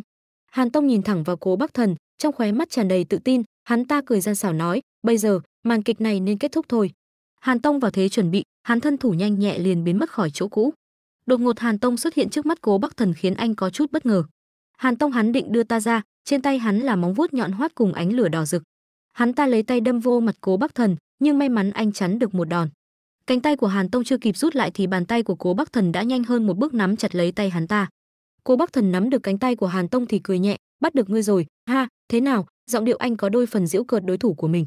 Nhưng bất ngờ thay hàn tông thanh niên biến đi mất, bấy giờ cố bắc thần mới nhận ra, ảo ảnh. Anh quay đầu ra đằng sau tìm thân ảnh của hàn tông, ảo ảnh chơi không tệ, rất mạnh, vậy mà có thể lừa được ta hàn tông lơ lửng trên không trung đằng sau cố bắc thần lên tiếng, hừ, còn có thứ mạnh hơn đang đợi ngươi. Hắn ta lôi ra một thanh kiếm từ bàn tay của mình, thanh kiếm đỏ rực do ánh lửa thiên, hắn nói, dục họa tiên kiếm. Thanh ảnh hắn từ từ chia ra thành nhiều ảo ảnh khác nhau, mỗi ảo ảnh đó cầm một thanh tiên kiếm dài. Rồi những ảo ảnh đỏ rực đó liền lao thẳng xuống chém cố bắc thần. Chỉ thấy cố bắc thần từ đâu gọi ra những thanh trường kiếm chỉ thẳng lên hướng ảo ảnh của hàn tông lao đến, hừ, vậy mà không thể phân biệt được huyền ảnh với chân thân, vậy thì chém hết vậy những thanh trường kiếm đó lao đến xuyên thẳng vào chém đôi ảo ảnh, kiếm quang tỏa sáng khắp cửu châu, giết địch phá trận không đối thủ. Sau đó mấy thanh kiếm liền trở về cố bắc thần, những ảo ảnh đó liền tiêu tan giữa không trung. Cố bắc thần không ngờ đến trường hợp này, anh nói, thân ảnh khắp trời này không ngờ lại đều là ảo ảnh. Chợt anh nhận ra điều bất ổn, tên đó, anh nhân mày định quay người lại. Đột nhiên có một thanh kiếm xuyên qua ngực cố bắc thần lúc anh không để ý đến nhất. Người cầm kiếm đâm chết cố bắc thần là hàn tông hàn tông giết được cố bắc thần liền vui mừng ra mặt, ta thắng rồi, hắn ta kích động một phen, cố bắc thần miệng phun ra máu tươi, anh vẫn không thể tin được, không thể nào, thua. Cố hoàng chứng kiến cảnh cố bắc thần bị hàn tông giết thì không khỏi run khắp người, ông sợ hãi đến nỗi khó thể cất lời. Con gái ông cũng không khác cha là bao, cô lo lắng gọi, không, thần sứ đại nhân. Hàn tông giơ kiếm lên, mang theo cả cố bắc thần bị đâm một đao lên như chứng tỏ uy lực của bản thân. Hắn ta mừng vui, ta đã từng nói, không ai có thể ngăn cản được ta các ngươi, còn có người xuyên việt cố bắc thần kia, đều không được. Cố hoàng lúc này đã sợ hãi tột độ, còn có ai, còn có ai có thể cứu vớt được chúng ta, cứu vớt thế giới này? Còn con gái ông ta quỳ sụp xuống chảy nước mắt bất lực nhìn viễn cảnh chua xót trước mặt, không không thể nào. Hàn tông vung kiếm ném mạnh cố bắc thần bị trọng thương xuống đất, cơ hồ khó có thể cứu mạng được. Hàn tông bỏ thanh kiếm xuống, cố bắc thần bị ném trước mặt cố hoàng và con gái ông ta khiến cả hai đều lo lắng khiếp sợ. Hàn tông giơ móng vuốt lên nói, bây ta có thể hoàn thành chuyện chưa hoàn thành của ta rồi phụ nữ hai người các ngươi, vừa đúng mỗi người một cái, cố hoàng hốt hoảng sợ hãi. Hoàn thành nghi thức còn lại giúp ta, hắn ta nói tiếp, con gái cố hoàng cũng không khỏi lo lắng giống cha. Thái âm luyện hình, nhưng chưa nói hết thì đã có một bàn tay đập bộp lên vai hàn tông, này, hắn liền quay sang phái cánh tay đó bất ngờ. Thì ra là cố bắc thần đứng sau lưng hắn lúc hắn không phòng bị nhất, hắn ta bất ngờ, ngươi, sao ngươi có thể? Cố bắc thần không nói gì mà trực tiếp lấy tay nắm thành nắm đấm, hàn tông bất ngờ nhìn không kịp phản ứng gì nắm đấm của cố bắc thần đấm mạnh vào mặt hàn tông khiến hắn không kịp đỡ lấy mà phải hứng chịu đòn đấm mạnh của anh. Cố bắc thần dùng lực đấm bay hàn tông ra xa, khiến hắn ngã nhào ra đất. Anh giơ nắm đấm lên khiêu khích hắn, bất ngờ không. Hàn tông với gương mặt bầm tím, xây sát nhìn cố bắc thần không tin nổi, rõ ràng là ta đã đâm xuyên tim của ngươi rồi. Sao ngươi vẫn chưa chết? Nếu như ngươi vẫn chưa chết, vậy thì thi thể kia là chuyện gì? Cố bắc thần giải thích, mọi thứ đều là ảo ảnh, thứ ngươi nhìn thấy đều chỉ là ảo ảnh của ta, ảo ảnh của cố bắc thần đang nằm sóng xoài ra đất, nó từ từ tan biến đi cô bắc thần nhìn hàn tông đang chật vật nói, hàn tông, ngươi thấy thế nào? Ảo ảnh của ta với ảo ảnh của ngươi, cái nào lừa được người tốt hơn? Hàn tông tức tối chống tay đứng dậy, hắn gằn giọng từng chữ, tên tiểu tử nhà ngươi lại dám lừa ta. Cô bắc thần khiêu khích hàn tông, đúng vậy, ta lừa ngươi đấy, ngươi có ý kiến gì không? Hàn tông càng thêm phẫn nộ. Hắn ta tức đến nỗi bùng nổ mà hét lên, cô bắc thần, ta phải giết ngươi, ta phải băm vằm ngươi ra thành ngàn mảnh. Người hắn liền bốc lên lửa nóng hừng hực. Cô bắc thần giơ tay lên ngoắc vài cái, đến đi, ta đứng đây đợi ngươi bất ngờ thay chiến y của cố bắc thần liền tiêu tan, có lời nhắc nhở hiện lên, thời gian đã đến rồi, nho mất tác dụng. Cố hoàng cùng con gái của ông liền kinh ngạc, chiến y của thần sức địa nhân, sao đột nhiên bị giải trừ rồi? Hàn tông thấy thế trận nghiêng về phái mình nhiều hơn liền nghĩ, cố bắc thần tự giải trừ chiến y của bản thân, cố bắc thần nhìn xuống hai tay, trong lòng anh giờ có chút hoảng loạn. Hàn tông nhân mặt tự suy đoán, chẳng lẽ là, rồi hắn tự nhiên cười lớn, ha ha ha ha, ta hiểu rồi, cố bắc thần, thì ra sức mạnh của ngươi đến từ hệ thống đó, hơn nữa còn có hạn chế thời gian hàn tông càng trở nên tự tin hơn, bây giờ ngươi đã mất đi sức mạnh hệ thống, để ta xem xem, ngươi còn có bản lĩnh gì để đối đầu với ta. Không ngờ cố bắc thần khôi phục lại thần thái, anh bình thản nói, thế sao? Hàn tông tạo ra một quả cầu lửa từ lòng bàn tay rồi nói, đi chết đi, cố bắc thần, thế giới này chỉ cần một người xuyên việt, chỉ cần một nhân vật chính. Hắn ta giơ tay lên hô lớn, hồ viêm xích dương, lửa thiên từ người hắn phóng thẳng lên trời, ngọn lửa nóng lớn cháy rực cả bầu trời, trước sự nhỏ bé của cố bắc thần. Hắn ngoác miệng ra cười lớn rồi lấy tay hất xuống ánh lửa nóng rực ấy cũng theo đó mà lao thẳng xuống như muốn nuốt chửng cố bắc thần vào trong nó. Nhưng cố bắc thần chỉ lấy ra một thẻ bài khắc chữ phật lên đó, một lá chắn xuất hiện. Ngọn lửa lập tức va chạm với tấm lá chắn đó tạo ra một tiếng động vang trời. Trong ngọn lửa hừng hực trước mắt hàn tông đó liền có tiếng cố bắc thần cất lên, chiến y hợp thể. Hàn tông nghe giọng nói xong cũng ngớ người không hiểu chuyện gì vừa xảy ra.